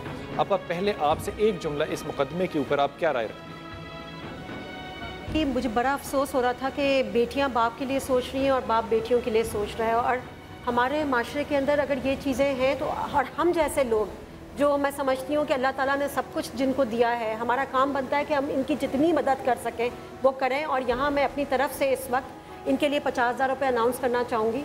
और जितना और भी मैं कहूँगी कि ये बहुत कम है लेकिन जितना मैं अभी दे सक रही हूँ जो मेरे पास है मैं वो दे रही हूँ। बट देन अगेन मैं समझती हूँ जितने भी लोग हैं इस वक्त जो अ, ये प्रोग्राम देख आप, रहे हैं आप काम करती हैं आप जॉब करती हैं। कौसर जी मेरा सबसे पहले तो आपका स्कूल है। जी। Thank you so a much teacher- और तालियाँ होनी चाहिए। नहीं कि बिना मेरे कुछ कहे बिना कुछ बोले अभी तक सिर्फ़ कौसर जी ने सिर्फ़ पैकेज देखा है। मगर एक फीलिंग्स आप देख सकते हैं कि इंसानियत भी कोई चीज़ होती है तो फील किया बिलाल भाई, अभी अनाउंस किया आपका बहुत बहुत शुक्रिया बिलाल भाई हमारे में ये कहते हैं एक हाथ से दो दूसरे हाथ को पता ना चले। लेकिन चूँकि मैं टीवी पे बैठी हुई हूँ और ये सिर्फ़ वजह ये थी बताने की और अनाउंस करने की कि ऐसे जितने भी लोग इस वक्त इस प्रोग्राम को देख रहे हैं, मैं समझती हूँ हर एक को जितनी इनकी हैसियत है, उस हिसाब से मदद करें उनकी, क्योंकि हमारी तो हैसियतें बहुत हैं, लेकिन हम अपने, कहते हैं ना, जेब से पैसा नहीं निकलता। ये वक्त ऐसा है इसमें जेब से पैसा निकलना चाहिए। ऐसे लोगों के लिए ये राइट पीपल है whom we should go and help out तो मैं समझती हूँ अल्लाह ताला हमारे कोई गुनाह इस इनके में वसीले से माफ़ हो बिल्कुल। अब मिस्टर खान आप इस पे क्या राय? मैं भी ये कहती हूँ कि लोग आजकल लोगों के दिल बहुत छोटे और तंग हो गए हुए हैं। वो अपना पैसा अपने पास रखना चाहते हैं बल्कि हमारे यहाँ जितनी गुर्बत है अगर हम उस हिसाब से इनको इस फैमिली को सामने रखते हुए इस पर आप क्या राय देंगे? कि जितना आप ज़क़़त खैरात वगैरह निकाल सकते हैं तो ऐसे लोगों को ढूंढें जो जो ज़ाहरी सफ़ेद पोषते पोष हैं और मांगते नहीं हैं। तो ऐसे लोगों की हेल्प की जाए ऐसे लोगों को बाकायदा ढूंढा जाए उनको लाया जाए ताकि उनके हम सही लोगों की अच्छा मैं पहले दोनों अपने उलमा की भी राय ले लूँ फिर मैं अपनी एक राय देता हूँ। जी जी। आप फरमाइए सर। फरीदुद्दीन साहब वैसे भी इस बात का इस्तेकाक रखते हैं कि उनकी मदद की जाए खुद बीमार भी हैं और फिर इतने अयालदार भी हैं। तो इनकी हर तरीके से मदद होनी चाहिए। तो हमारे माशरे में ये नहीं है कि ये सारे ख़राब लोग मौजूद हैं बहुत अच्छे अच्छे लोग मौजूद हैं। मालदार लोग हैं अल्लाह ने उनको दिल दिए है। कौसर आपा जो पचास हज़ार दे रही है ना मेरे लिए पचास करोड़ है क्योंकि वो कोई अरबपति नहीं है। जी हाँ। वो अपने हलाल की कमाई में से पचास हज़ार निकाल रही है। मैं इस बात का अंदाज़ा कर सकता हूँ कि पैसे निकालना कितना मुश्किल होता है। आप आई रियली अप्रिशिएट किया तो हमें उम्मीद है कि ऐसे लोग इधर तवज्जो करेंगे और उनको तवज्जो हज़रत आपकी राय। जी बात यह है कि ये तो एक फरीदुद्दीन है। जो मीडिया पर आ गए। ऐसे लाखों फरीदुद्दीन से भरे पड़ा है। और ऐसे कई केसेस होंगे। मैं इस प्रोग्राम के ज़रिए ये कहना चाहूँगा कि खुदारा हमारी ये सारी बहस का मौजू यही था कि ऐसे लोगों की वक्ती मदद भी होनी चाहिए जिस तरह इन्होंने की अच्छा काम है। लेकिन इस प्रोग्राम को जो देख रहे हैं इनके मोहल्ले वाले भी होंगे और भी मैं कहता हूँ कि ऐसे लोग आएँ जो इनका इस तरह सहारा बने कि हमें आपसे सिवाय आपकी बेटी की और कुछ नहीं चाहिए। ताकि इनका सबसे बड़ा बोझ तो इस वक्त ये है, बच्चियाँ अपने घरों को जाएँ। और इस प्रोग्राम के ज़रिए लोग इसको समझें कि ना ये सुन्नत है ना इसका हुक्म दिया गया है। तो ऐसे वालदेन पर जिनकी इतनी बच्चियाँ हैं उन पर मज़ीद वो बोझ ना बने कि जनाबे वाला उस पर डिमांडें करें और ये करें और वो। फिजा ये बच्चियाँ जो है सारी तालीम याफ्ता हैं माशा ताला और वालिद साहब भी जो है मास्टर हैं। इस पर इस पर थोड़ी सी तवज्जो बच्चियों के इस तरफ़ भी दिलवाइए कि क्या मदद लेने से ज़्यादा बेहतर ये नहीं है कि हम लोगों से अपील करें हाथ बाँध के कि अपने नज़रियात को बदलें। बदलें। अपने नज़रियात को बदलें। क्योंकि जब मेरे रसूल ने ये कहा कि जिसकी तीन बेटियाँ वो मेरे साथ जन्नत में यूँ होगा तो भाई जिसकी साथ है वो तो यूँ होगा। तो ये जो मामला है बरकत का इस बरकत में हमने इतना अजाब क्यों डाल दिया? कितना बेशरम और बेगैरत होगा वो आदमी जो कहेगा कि जनाब लोगों से हदिया इकट्ठा करें तुम मैं तुमसे फिर नका भाई उसको तो आपको रिजेक्ट करना चाहिए। आपके कि मैं इस बेशरम से क्यों शादी करूँ? जो लोगों के माल के ऊपर मुझे लेके जा रहा है जो लोगों के माल पे आपको लेके जा रहा है वो आपको लेके नहीं जा रहा। अच्छा मगर बिलाल भाई पढ़ी लिखी तो हैं बच्चियाँ क्योंकि हेड मास्टर हैं पढ़ाते हैं स्कूल में फिर स्कूल भी है इनका अपना मगर बच्चियों को तालीम तो दे दिया वो जिस घर में जाएँगी पहले तो जहेज़ की डिमांड आ रही है उसके बाद वहाँ पर भी कमा के खिलाएँगी क्योंकि पढ़ी लिखी बच्ची हैं। यहाँ उनको बिल्कुल फ़िक्र है अपने बाप की इलाज की और शादी के बाद उनको फ़िक्र होगी एक जुमला और कहता हूँ लेकिन पहले कॉलर से बात करने आपकी बात बिल्कुल बजा के बाद में इसका मतलब सारी ज़िंदगी बच्ची जहेज ला ला के उस बेशरम इंसान को देगी। जी अस्सलाम वालेकुम। हेलो सलामकुम वालेकुम अस्सलाम हाँ मैं बाबुलपुर से ज़फ़र अंसारी बोल रहा हूँ जी। जनाब अली हुक्म फरमाइए बाब साहब। बस इनके लिए बीस हज़ार रुपए की मेरी तरफ़ से हेल्प है। ये बहुत शुक्रिया। भेज दीजिएगा। आपका बहुत शुक्रिया। जहाँ पे आपने कॉल किया यहाँ पे आप अपना का नंबर होगा और इंशाल्लाह हम आपसे राब्ते में रहेंगे। जो तालीम है ना देखो फिजा ये औरत का ये जेवर है इसका। ये इसकी खूबसूरती है। ये अपनी तालीम को ब्लैकमेल क्यों होने दे? हमारी लड़की हमारी बेटी हमारी बच्ची तालीम को ब्लैकमेल क्यों होने दे? फ़र्ज़ कीजिए फ़र्ज़ कीजिए। अखर हम ये कहें कि मेरी बेटी तालीम याफ्ता है और वो तालीम पे ब्लैकमेल नहीं हुई। हज़रत इस पर राय दीजिएगा। कोई शादी नहीं होगी तो दुनिया की कोई क़यामत नहीं है जो आसमान से नीचे टूट के आ जाए। एक मेरी माँ सैदा की शादी जो है ना खतीजा की वो जिस उम्र में हुई ना उस उम्र में मेरी माँ सोच भी नहीं सकती थी कि मोहम्मद का रिश्ता हो सकता है खुदा की कसम। और वो औरत जिसने सोचा था ना कि इससे बेहतर शौहर कैसे हो सकता है? फिर खुदा ने जब उसके शोहर को शहादत दी और फिर मेरे रसूल का जब रिश्ता गया तो उसने सोचा, मैंने कितनी गलत बात सोची। हम अपनी बेटियों को बोझ समझते हैं। मैं इस ख्याल से इतना इतना नाराज़ हूँ कि जितना कहा जाए क्योंकि मुझे लगता है कि हम जब मैं, अदब से कह रहा हूँ हम जब मुसलमान देखने में लग रहे हैं ना और हम अपनी सोच में मुसलमान नहीं हैं तो मैं उसका ज़िम्मा जो है ना उस शख्स पे डालता हूँ। आप कैजुअल लग रहे हो ठीक है आप जैसे भी हैं लेकिन जब देखने में हमारे बा, भाई बेटे बाप उल्मा जब ये मुसलमान लगते हैं फिर मेरी इनसे तो होती है कि ये इस्लाम की बात जो है ना ये दो टोक करें। जब उमर ख़त्ताब ने रसूल पाक सल्लल्लाहु अलैहि वसल्लम के पास गए ना दारुल अरकम में कहा क्या हम हक पे हैं? कहा हम हक पे हैं? तो कहा फिर मैं क्यों छुप के नमाज़ पढ़ूँगा? मैं जाऊँगा और इस जुलूस में शामिल हुए जिसमें हज़रत हमजा भी थे और आप भी थे और आपने जाके काबे में नमाज़ अदा की। हम मानने वाले उमर ख़त्ताब के और रवायतें हमारे यहाँ कृष्णा की लाहौल वला कुव्वत इल्ला बिल्ला। सीरियसली अच्छा वैसे अब जब ये मैं अभी फैमिली इंट्रोड्यूस करा दूँ ज़रा मैं इनसे बात कर लूँ तो मैं आपसे ये भी पूछूँगी कि क्या ये हिंदुआनी रस्म है जहेज़? ये क्या है? ये क्या लानत है जो मतलब हमारे इस्लाम से तो आप बात कर चुके हैं कि हमारे इस्लाम में तो ऐसी कोई चीज़ नहीं है। मगर खैर आप इस पर अच्छा जवाब देंगे। पहले ज़रा मैं फैमिली से बात कर लूँ। जी अस्सलाम वालेकुम। आंटी अब आप क्या चाह रही हैं? बेटियाँ तो पढ़ी लिखी भी हैं वैसे। घर किराए का घर किराए का है। उसमें उसमें स्कूल खोला हुआ है। जी। बच्ची का बाप शादी पहले किस किस बेटी का रिश्ता ख़त्म हो गया? इसका निकाह किया था या शादी की थी? मंगली की थी। छोटी सी तो क्यों ख़त्म क्यों ख़त्म हो गई थी? टाइम पड़ा था इनकी बीमारी की वजह से। किसकी बीमारी की वजह से? बीमारी की वजह से इनकी बीमारी की वजह से? जी तो बेटी का रिश्ता ख़त्म कर दिया। तो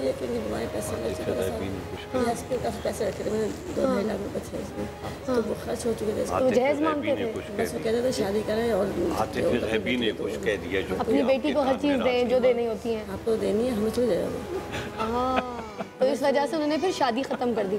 अच्छा एक कॉल है हमारे साथ। अ, अस्सलाम वालेकुम हेलो अस्सलाम वालेकुम आपको आवाज़ आ रही है मेरी? लाइन कट गई। अच्छा जी आ, आप बताइए कि अभी आपकी दो बेटियों की आपने शादी कर दी जिसमें से तीसरी की मंगनी की तो वो टूट गई जहेज़ की वजह से। जो दो शादियाँ हुई थी उधर भी ये प्रॉब्लम्स हुई जहेज़ मांगा बहुत तंग किया। अरेंज कर दिया था। अब इसका अच्छा उसमें क्या क्या डिमांड किया था? जब दो बेटियों की शादी हुई तो उसमें गैस का डिमांड फर्नीचर फ्रिज मोटर अच्छा मोटरसाइकिल सब कुछ। तो अभी आपको क्या परेशानी है? बेटियाँ तो पढ़ी लिखी भी हैं काम करने की इजाज़त दे दें बच्चियों को जब तक शादी नहीं होती। स्कूल चला रही है स्कूल चला रही है। फिर शादियों की इतनी फिक्री क्यों? जैसे बिलाल भाई अभी कह रहे थे ना कि अगर होती है तो ठीक है नहीं होती तो नहीं। मतलब ऐसे घर में जाने से तो बेहतर है ना बेटी? बेटी अपने घर की अच्छी होती है। बाप है ज़ाहिर सी बात है फ़िक्र है कि कोई भी बात हो कुछ भी हो बेटी अपने घर ही अच्छी लगती है। एक कॉल साथ शामिल करेंगे। अस्सलाम वालेकुम अस्सलाम वालेकुम जी कौन कौन बोल रही हैं? जी मैं से बात जी यास्मीन जी आप बताइए क्या कहना चाहेंगी? जी मैं ये कहना चाह रही थी ये बेटा कि ये जो आपके गेस्ट हैं फरीद साहब। इनकी बेटियाँ जो है तो मैं मेरे माशाल्लाह बेटे हैं तो इन मैं एक बेटे से इनकी एक बेटी की शादी करना चाहती हूँ। मुझे जहेज में इसकी कोई ज़रूरत नहीं सिर्फ़ मुझे शरीफ और अच्छी लड़कियाँ चाहिए। भाई मैं खड़े हो के आपको सलूट करूँ क्या बात है जी। बहुत आला जी बहुत आला। मैं कहती हूँ अभी जिस चीज़ की इनको ज़रूरत है वो यही थी कि अच्छे रिश्ते जहेज़ ना मांगे। ये एक मिसाल आप लोगों की मतलब माशाल्लाह माशाल्लाह थैंक यू सो मच आप अपने नंबर लिखवा दीजिएगा हम आपसे अभी रब्ता कर लेंगे। एक कॉल और है हमारे साथ अस्सलाम वालेकुम। जी क्या कहेंगे? हेलो जी ज़रा ऊँचा बात कीजिए क्या कहेंगे? आपकी कॉल की आवाज़ नहीं आ रही माजरत। दोबारा ट्राई कर लीजिएगा अभी हम यहीं बैठे। अच्छा बेटियों से मैं बात करना चाहूँगी। एक बहन आप हैं जिनका रिश्ता टूट गया। आपका नाम? फरहत फरहत अभी आप पढ़ा रही हैं स्कूल में? तो अभी जब जैसे रिश्ता देखने के लिए कोई आता है तो वो किसी एक लड़की को देखने आता है या आप सारी बेटियों को दिखाते हैं कि जो पसंद आती है आप उससे शादी करवा सकते हैं अपने बेटी? किसी एक के लिए आता है। और रिश्ते का सारा इंतज़ाम वगैरह कौन किसके पास जाके बात करते हैं? मोहल्ले से आता है रिश्तेदारों से आता है? खुद बात करते हैं। अच्छा आप बताइए आप क्या चाहती हैं?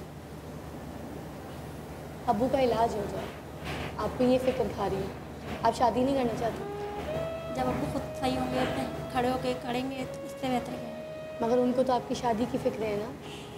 वो तो आपकी शादी कराना चाहते वो हैं। तो हम सब के लिए अच्छा सोच सकते हैं ना कि अब्बू की तबीयत ठीक रहेगी। अबू की तबीयत ठीक रहेगी तो फिर आप खुशी से अपने घर की हो सकती हैं। अच्छा जी आपकी शादी हुई थी। तो आप उस वक्त काम करती थी अबू ने सब कुछ जहेज का हाँ, सारा इंतज़ाम करके दिया। जॉब करती थी। आप जॉब करती थी आपने अबू के साथ सपोर्ट की अपना जहेज इकट्ठा किया खुद। आज आपके कितने बच्चे हैं? दो बच्चे आप खुश हैं अपने घर में? कोई ताना कोई अभी नहीं। कुछ नहीं? है जॉइंट फैमिली में रहती हैं? जी। तो आप अपनी बहनों के लिए क्या चाहती हैं? मैं शादी भी हो लेकिन सबसे पहले अबू का इलाज हो जाए क्योंकि बहुत ज़्यादा बीमार रहते हैं एकदम साँसें रुक जाती हैं। कल रात भी बहुत ज़्यादा हालत ख़राब हो गई हम सब घर से आ गए थे बहनें तो हैं ही। बस इन जी इनकी शादी ईद पर है इनकी। ईद की शादी ईद पर है? हाँ। और उसका जहेज इंतज़ाम नहीं हुआ? नहीं जो थे वैसे वो खर्च हो गए इनकी बीमारी पर। तो वो क्या डिमांड कर रहे हैं अभी? बीमार तो नहीं कर मगर ये कहते हैं दोगे तो अपनी अपनी बेटी को दोगे हमें थोड़ी दोगे एक छोटा सा वक्फा लेते हैं। वक्फे के बाद हम वापस आते हैं आपसे बात करते हैं। डिमांड अगर नहीं भी कर रहे तो तब भी इस हालात को देखने के बावजूद लोग ये बात करते हैं कि आपने देना है तो अपनी बेटी को देना है। हमारी जेब में तो कुछ नहीं जा रहा। मतलब आप अपनी छोटा सा वक्फा लेते हैं, फिर बात करते हैं।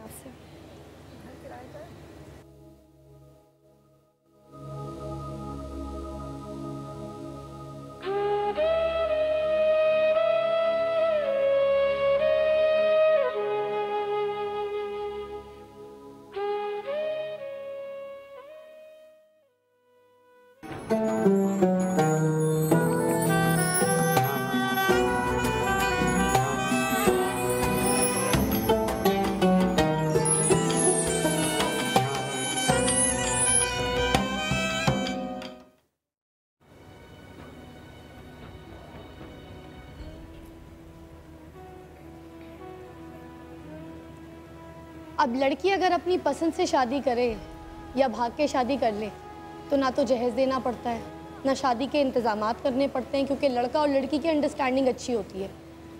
मगर अगर लड़की अपने माँ बाप की मर्ज़ी से शादी करना चाहे तो ससुराल वाले अगर ये डिमांड करें कि अपनी मर्ज़ी से लाना है, जो लाना है तुमने अपने घर के इस्तेमाल के लिए चीज़ें लानी है, हमारे घर में ये ये है, ये ये नहीं है, बेटे का पलंग तो हमने कभी लिया ही नहीं था बेटे के लिए हमने बाइक तो ली नहीं है। वो जाता है, उसके लिए बड़ी मुसीबत होती है, वरना और भी बहुत से रिश्ते आए, वो तो हमें बाइक भी दे रहे हैं। हम तो उनसे नहीं करा रहे।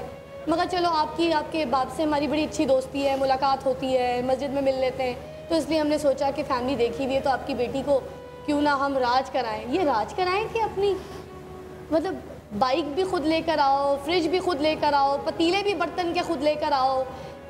जिस घर में रह के हांडी भी पकानी है, वो लड़की की लाई हुई हांडी है। ऐसी ऐसी शादियाँ तो नाउजुबिल्ला ये एक और बच्ची है। ये ब्रेक पे बहुत रो रही थी। मैंने कहा, इससे मैं आपको ज़रा बात कराऊँ। आप बताओ, क्या फील कर रही हो आप? ये सिचुएशन सारी बहनें रो रही हैं, माँ तकलीफ़ में है, बाप के इलाज के लिए परेशान हो। हेड मास्टर हैं अपने स्कूल की। काम कर रही हैं, पढ़ी लिखी हैं। अबू बहुत ज़्यादा परेशान है, उनकी तबीयत बहुत ख़राब रहती है। कभी हमारे यहाँ खाने को नहीं होता। अभी शहरी में हम सोचते हैं कि कुछ आ जाएगा कुछ पकाएँगे तो हम खा लेंगे। अफ्तार में भी हम पाँच मिनट दस मिनट पहले अम्मी कोई पैसे देता है तो जाकर लेकर आती हैं तो हमारे यहाँ अफ्तार बनता है। नहीं तो हम खजूर से अफ्तार करते हैं। अभी क्या चाह रही हो आप? बीमारी सही हो जाए और बहनों की शादी। डॉक्टर ने इलाज के लिए कितना पैसा डिमांड किया? छः सात लाख रुपए। छः सात लाख रुपए। दिल में सुराख है और heart beat twenty five percent है। लीवर का आप बच्चियों को यही फ़िक्र खाई जा रही है। बहुत ज़्यादा क्योंकि कल रात को भी सांस रुक रही रुक गई थी बिल्कुल। हम बहुत परेशान थे। पूरी रात जाग कर गुजारते हैं हम। अच्छा और घर का किराया कितना आता है? आप मतलब जो आपने किराए दिखाइए। तेरह हज़ार रुपये तेरह हज़ार रुपये देती हैं आप। जी। तेरह हज़ार रुपये कैसे देती हैं फिर आप? इसी तरह से मेहनत करती है बच्चे देते हैं फिर अपने घर को अपने जैसे गुजारा होता है करते हैं मगर उनके हम कहते हैं मेरे सामने इस, इसी स्किल करते हैं अल्लाह ताला दे- उसी देगा तो उसे मगर बस शुक्र अल्लाह का अल्लाह का गुजारा कर देखिए हम लोग यहाँ पर किसी भी ट्रांसमिशन में सिर्फ़ इस चैनल की बात नहीं करूँगी किसी भी चैनल में अगर इस तरह के केसेस आपके सामने लेकर आते हैं तो हमारा हरगिज़ ये मकसद नहीं है कि हम आपके सामने नुमाइश कर रहे हैं। किसी के दुख या तकलीफ़ की नुमाइश कर रहे हैं या किसी का दुख उछाल रहे हैं। ऐसा कुछ नहीं है ना किसी का मज़ाक। हम सिर्फ़ आपके घर में एक इंसानियत की खिड़की खोलना चाहते हैं थोड़ी देर के लिए कि वो खिड़की खुल जाए। शायद आप लोग मदद करें। देखिए, मदद हम भी कर सकते हैं, मगर हम चाहते हैं आप लोगों की इंसानियत की वो खिड़की ज़रूर खुले हर घर में, जो हम, हमारी इंसानियत जो सो चुकी है ना, वो जागे किसी तरह वो जागे। हमें, अल्लाह माफ़ करे, ये वक्त बहुत तकलीफ़ वाला होता है। क्या कह रही थी आप, आंटी? आप रोए नहीं, आप रोए नहीं, आप रोए नहीं।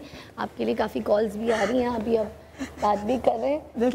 इतना हो जाए ताकि थोड़ा सा स्कूल के हम किराया निकाल सकें हम तक अब करीब ना तो देखिए छः से सात लाख रुपए बाप के इलाज के लिए ज़रूरी है बेटियाँ उस चीज़ के लिए भी बहुत परेशान है। इतनी गरीब फैमिली जो अफोर्ड नहीं कर सकती बच्चे उन्हें पढ़ा भी बड़ी मुश्किलों से। उस फैमिली में छः सात लाख रुपए अरेंज करना वाकई मुश्किल बात है बाप के इलाज है जैसे कि आपने दे दिए कपड़े पुराने उसको काटा यूनिफॉर्म बना दिया पुरानी किताबें ले पढ़ा इस तरह से पढ़ाया बच्चों को पढ़ा पढ़ा के।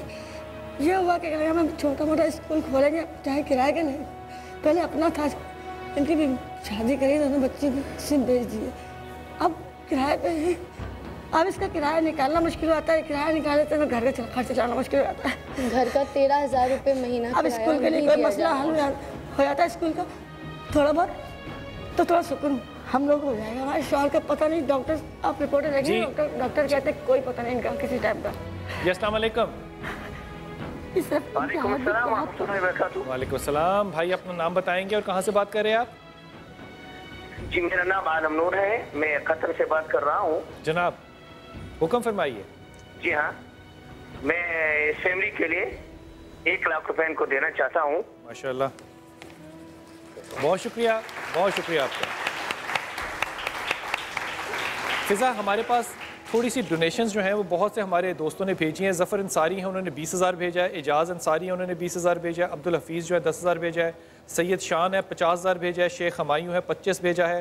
कायनात अली हैं बीस हज़ार भेजा है। ताहिर अली चौधरी हैं पाँच हज़ार भेजा है। और कतर से अभी एक लाख रुपये आया।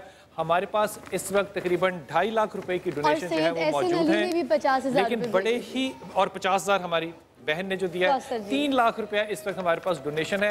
लेकिन एक अदब से बात कहूँ बहुत ही अदब से बात कहूँ और अगर मेरी बात बुरी लगे तो मैं पहले से ही माफ़ी माँगता हूँ। पहली बात तो ये कि ये सारी डोनेशन जो है ना ये आपकी मदद है ये जहेज़ नहीं है। पहली बात। दूसरी बात यह कि खुदा के वास्ते जब इंसान भूख से मर रहा हो ना तो उस वक्त सहाबा को याद करते हैं जो एक एक खजूर पे तीन तीन दिन जहाद किया करते थे तरस नहीं खाना चाहिए। रिस्क अल्लाह की ज़िम्मेदारी है। जिल्लत मौत सेहत अल्लाह की बीमारी है। हमें अखर हमें अखर मांगने की आदत हमने बेटियों को डाल दी तो ये आदत जो है ये सेहतमंद नहीं है। ये बेटियाँ अपने पाँव पे खड़ी हों ये बाहर निकलें इन पैसों से ये अपनी इन्वेस्टमेंट करें मशीनें खरीदें जो चाहें करें बाप का इलाज कराएँ जो चाहें करें लेकिन अपने पाँव पे खड़े होने के लिए मदद है ये इनके जहेज़ की मदद नहीं है। चौधरी तफसल साहब की कॉल जी। वालेकुम। जी अस्सलाम। जनाब अली। जी जी सर बताएँ। हज़रत हुक्म हुक्म फरमाइए बिलाल कुतब अर्ज़ कर रहा हूँ। कौन भाई बात कर रहे हैं और कहाँ से? सर लाहौर से बात कर रहा हूँ। क्या नाम आपका भाई? चौधरी तफजल चौधरी साहब लाहौर में गर्मी बहुत ज़्यादा है हुक्म फरमा दीजिए। सर मैंने कहा मैंने एक बच्ची के लिए अपने बेटे के लिए कराया था बिना ओ क्या बात है चौधरी साहब की ना चौधरियों वाली बात। और नकाह का जो खर्चा होगा वो भी मेरे पे। तो यार फिर चौधरी ऐसे ही होने चाहिए ना बहुत बहुत खूबसूरत बात की। और ये बात मैं चौधरी साहब आपको भी और ये यास्मीन बहन आपने भी की। ये बात जहन में मत रखना कि ये हमारी बेटियाँ जो हैं ये किसी थड़े पे बैठी हुई हैं। हम जाती तौर पे आपके बेटों की इन्वेस्टिगेशन करेंगे। हमारी राय में अगर आपके बेटे इस काबिल हुए कि इन बेटियों के साथ निकाह किया जाए तो इन ताला इस निकाह में हम खुद शामिल होंगे। वक्फे पे जाइए। अस्सलाम वालेकुम वरहमतुल्लाहि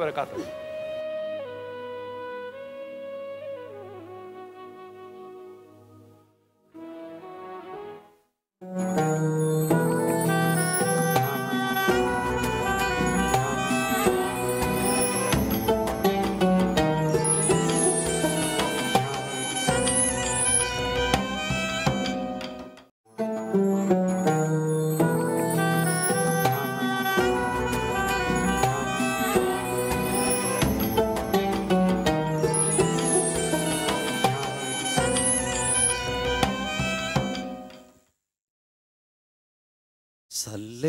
अला या सैयद रसूल मुस्तफ़ा, सल्ले अला या सैयदी रसूल मुस्तफ़ा, सल्ले अला या सैयदी हबीब मुस्तफ़ा, सल्ले अला या सैयदी रसूल मुस्तफ़ा, सल्ले अला या सैयदी रसूल मुस्तफ़ा। आप जैसा कोई भी नहीं है मुस्तफ़ा, आप जैसा कोई भी नहीं है मुस्तफ़ा सले अला या सैयदी रसूल मुस्तफ़ा सले अला या सैयदी रसूल मुस्तफ़ा, आप जैसा कोई भी नहीं है मुस्तफ़ा इनकी रहमत के बरसते बादलों तुम पर सलाम। इनकी रहमत के बरसते बादलों तुम पर सलाम। हर सखावत में सखी में मुस्तफ़ा का नाम है, मुस्तफ़ा का नाम है, मुस्तफ़ा का नाम है। आप जैसा कोई भी नहीं है मुस्तफ़ा। सले अला या सैयदी रसूल मुस्तफ़ा। सले अला या सैयदी रसूल मुस्तफ़ा। आपका इसमें गिरामी शाद रखता है मुझे। आपका इसमें गिरामी शाद रखता है मुझे। मेरे दामन की खुशी में मुस्तफ़ा का नाम है, मुस्तफ़ा का नाम है, मुस्तफ़ा का नाम है। आप जैसा कोई भी नहीं है मुस्तफ़ा, सल्ले अलाया सैदी रसूल मुस्तफ़ा, सल्ले अलाया सैदी रसूल मुस्तफ़ा। सब अजानों और नमाजों में नबी का नाम है। सब अजानों और नमाजों में नबी का नाम है। ज़िक्र की बार रफ्तगी में मुस्तफ़ा का नाम है। मुस्तफ़ा का नाम है। मुस्तफ़ा का नाम है। आप जैसा कोई भी नहीं है मुस्तफ़ा। आप जैसा कोई भी नहीं है मुस्तफ़ा। सले अनाया सैदी रसूल मुस्तफ़ा। ज़िंदगी की रोशनी में मुस्तफ़ा का नाम है। ज़िंदगी की रोशनी में मुस्तफ़ा का नाम है। शेरो इल्म आ गई में मुस्तफ़ा का नाम है। मुस्तफ़ा का नाम है। मुस्तफ़ा का नाम है। आप जैसा कोई भी नहीं है मुस्तफ़ा। सल्ले या सैयदी रसूल मुस्तफ़ा। सल्ले सैयदी रसूल मुस्तफ़ा। दम बदम इसमें मोहम्मद का वजीफा लब पे हो। दम बदम इसमें मोहम्मद का वजीफा लब पे हो। मौला से वाबस्तगी में मुस्तफ़ा का नाम है। मुस्तफ़ा का नाम है। मुस्तफ़ा का नाम है। आप जैसा कोई भी नहीं है मुस्तफ़ा। सले अलाया सैदी रसूल मुस्तफ़ा। सले अलाया सैदी रसूल मुस्तफ़ा। गुल बगुल गुलचा बगुंचा शाख शाख इनका है नाम। गुल बगुल गुलचा बगुंचा शाख शाख इनका है नाम। नूरो रंगो ताजगी में मुस्तफ़ा का नाम है। मुस्तफ़ा का नाम है। मुस्तफ़ा का नाम है। आप जैसा कोई भी नहीं है मुस्तफ़ा। सले अला या सैयदी रसूल मुस्तफ़ा। सले अलाया सैयदी रसूल मुस्तफ़ा। मंजिल कुर्ब खुदा की राह दिखलाई हमें। मंजिल कुर्ब खुदा की राह दिखलाई हमें। ए उजागर।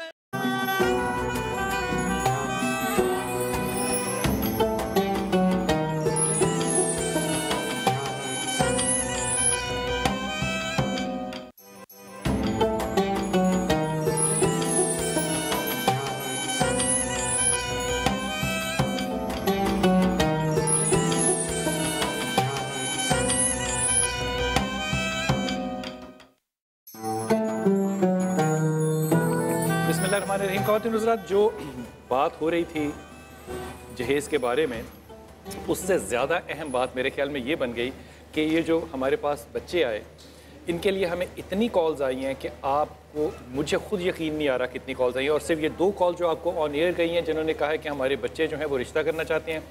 इसके अलावा कई ऐसी कॉल्स हैं और सरापा जो कि हमारे पास इस वक्त मौजूद हैं और उन्होंने कहा जनाब, हम इंटरेस्टेड हैं, आप हमें कंसिडर करें। ये जुमला जब उन्होंने कहा ना ये तो ये अच्छा लगा मुझे। लेकिन दो लोगों का ज़िक्र ज़रूर करूँगा। यूसुफ भाई ने मुझे मैसेज किया कि वो एक लाख रुपए डोनेट करेंगे। और आपने कलाम सुना जकी जमान का जो हमारे यहाँ कवाली पढ़ते हैं उनका मैसेज आया कि जनाब मेरी तरफ़ से दस हज़ार रुपया जो है वो भी इनको हदियतन दीजिए। है जकी भाई जकी भाई आपके दस हज़ार जो है ना वो हमारे लिए दस करोड़ हैं। आपको अल्लाह ताला खुश रखे और इसका अजर दे। अदबन एक बात हदिया कर रहा हूँ। हज़रत उमर ख़ताब जो है ना सारी उम्र इस दौड़ में रहे कि किसी तरीके से मैं हज़रत अबू बकर के बराबर हो जाऊँ। रहे कि नहीं रहे? वाह वाह ऐसा रहे ना? ऐसा रहा। अब मेरे रसूल सल्लल्लाहु अलैहि वसल्लम जो है मेरी माँ आयशा के साथ लेटे हैं और रात का वक्त है और तारे निकले हुए हैं। और मेरी माँ पूछती हैं कि या रसूलल्लाह इतने तारों जितने तारे नज़र आ रहे हैं इतनी भी नेकियाँ होंगी किसी की? अब मेरी माँ की चाहत पता है क्या होगी? कि मेरे रसूल कहें कि तेरे वालिद की। वालिद का नाम आ जाए। रसूल पाक सल्लल्लाहु अलैहि वसल्लम कहते हैं हाँ ऐसा है। कहा कौन? कहा उमर ख़त्ताब। तो मेरी माँ खामोश हो गई। मेरी माँ थोड़ी देर खामोश हो गई। तो रसूल पाक सल्लल्लाहु अलैहि वसल्लम कहते हैं लेकिन याद रखना आयशा जो तेरे बाप का मुझ पर एहसान है ना एक रात उसकी इन सारे तारों के ऊपर भारी है। कहा यार रसूलुल्लाह कौन सी रात? कहा जब जा रहे थे ना मदीना हिजरत कर रहे थे तो कभी हज़रत अबू बकर आगे चलते थे कभी पीछे चलते थे? रसूल वसल्लम ने पूछा कि अबू बकर तू कभी आगे चल तू मेरे साथ क्यों नहीं चलता? कहा यार रसूलुल्लाह जब मेरे दिल में गुमान आता है कि आपके आगे कोई दुश्मन ना हो तो मैं आगे हो जाता हूँ। जब मुझे गुमान आता है आपके पीछे कोई दुश्मन ना हो मैं पीछे हो जाता हूँ। जब गार में आए तो आपने देखा कि गार में छेद है। आपको वहाँ से खौफ हुआ कि ऐसा ना हो कि इसमें से कोई जानवर जो है वो रसूल वसल्लम को नुकसान पहुँचाए। आपने सबसे पहला अपना अमामा अमामा है हज़रत इज़्ज़त। इज़्ज़त है। आपने अपना अमामा उतारा उसके कपड़े बनाए और हर छेद जो आपको नज़र आया आप उसमें भरा। छेद फिर भी बाकी रह गए। आपने फिर अपना कुर्ता उतारा। आपने उसके टुकड़े किए। आपने वो छेदों में भरे। जब ये सारे भर लिए तो एक छेद रह गया। रवायत कहती है कि हज़रत अबू बकर सदीक ने अपनी एड़ी को उस छेद में रख दिया कि मोहम्मद जब तशरीफ़ लाएँगे तो उनको किसी से खतरा ये वो छेद था जिसमें सांप सांप था। जब वापस आए वहाँ पे आए और कहा रात को सो गए, रसूल पाक वसल्लम, सुबह रोशनी हुई। तो देखा, कहा कि अबू बकर, तेरा अमामा कहाँ? कहा, वो तो मैंने काट दिया। कहा, तेरा कुर्ता कहा? कहा यार रसूलुल्लाह, वो भी मैंने काट के सब भर दिया। इसलिए भर दिया कि इसमें से कोई चीज़ ना निकले। अल्लाह के रसूल ने हाथ उठाए कि, अल्लाह, मैं तेरे इस बंदे से बहुत खुश हुआ। अल्लाह तू भी इससे राज़ी हो जा। अब यहाँ बात रुकी नहीं दुआ तक।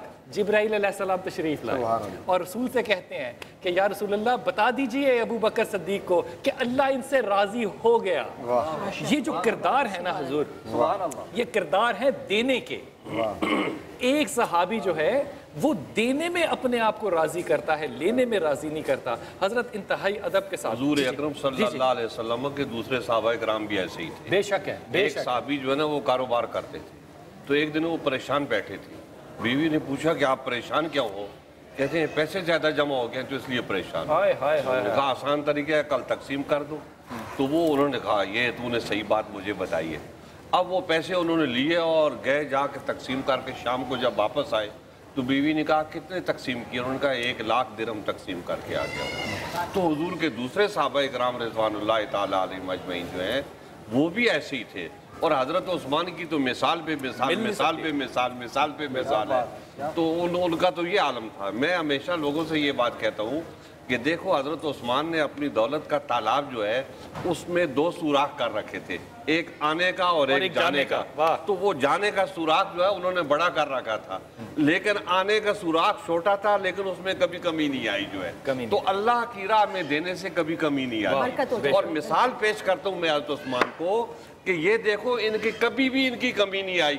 लेकिन इन्होंने हमेशा बढ़ चढ़ के जो है अल्लाह की राह में दिया। देखिए, एक मरतबा ऐसा हुआ कि हुजूर अकरम सल्लल्लाहु अलैहि वसल्लम जब जैश उसरा की तैयारी में थे तो वहाँ पर उस मौके पर आपने ऐलान फरमाया तो हज़रत उस्मान ने सोने और चांदी यानी दिन दिरम और दीनार के ढेर जो है वो आपके सामने लगा दिए।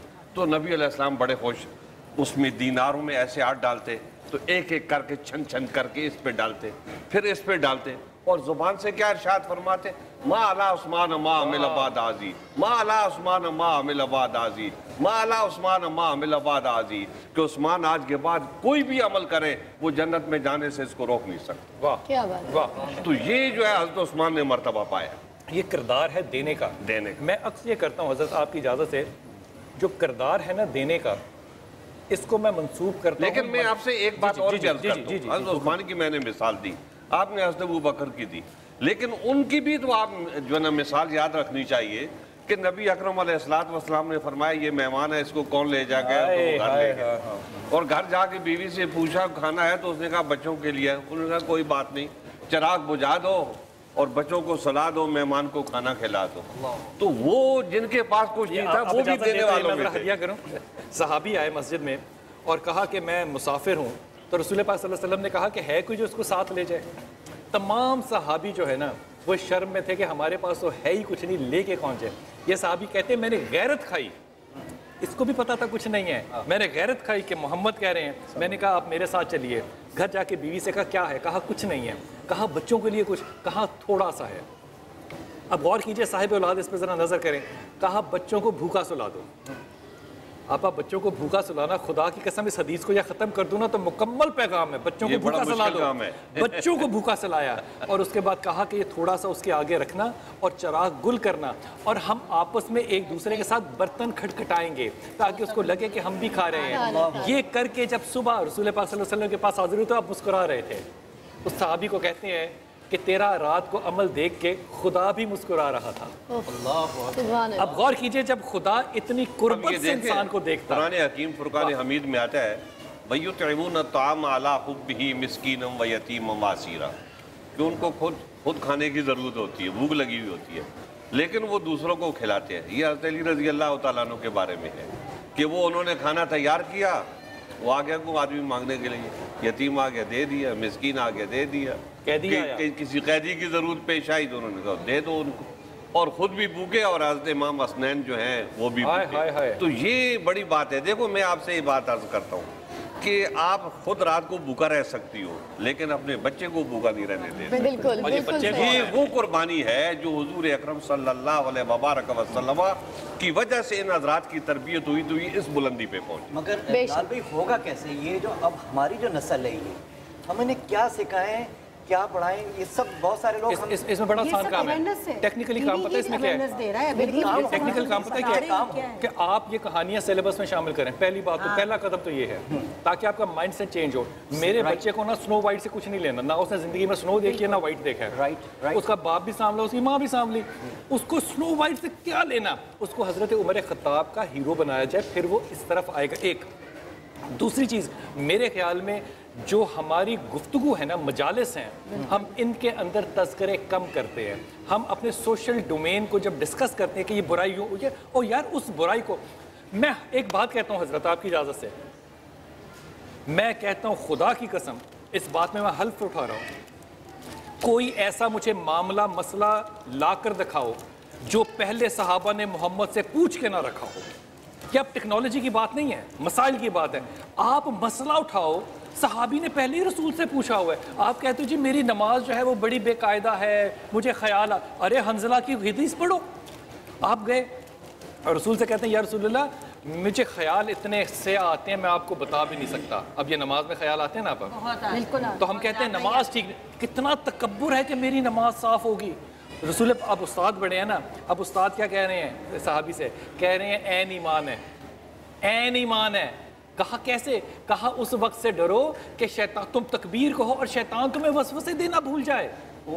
शैतान वसवसे दे रहा है तो तुम्हारा ईमान कायम है इस जगह पे। शैतान को फ़िक्र है कि ये क्यों खड़ा हो गया नमाज़ पे। हम चाहते हैं वो नमाज़ जिसमें शैतान हमारा साथी हो।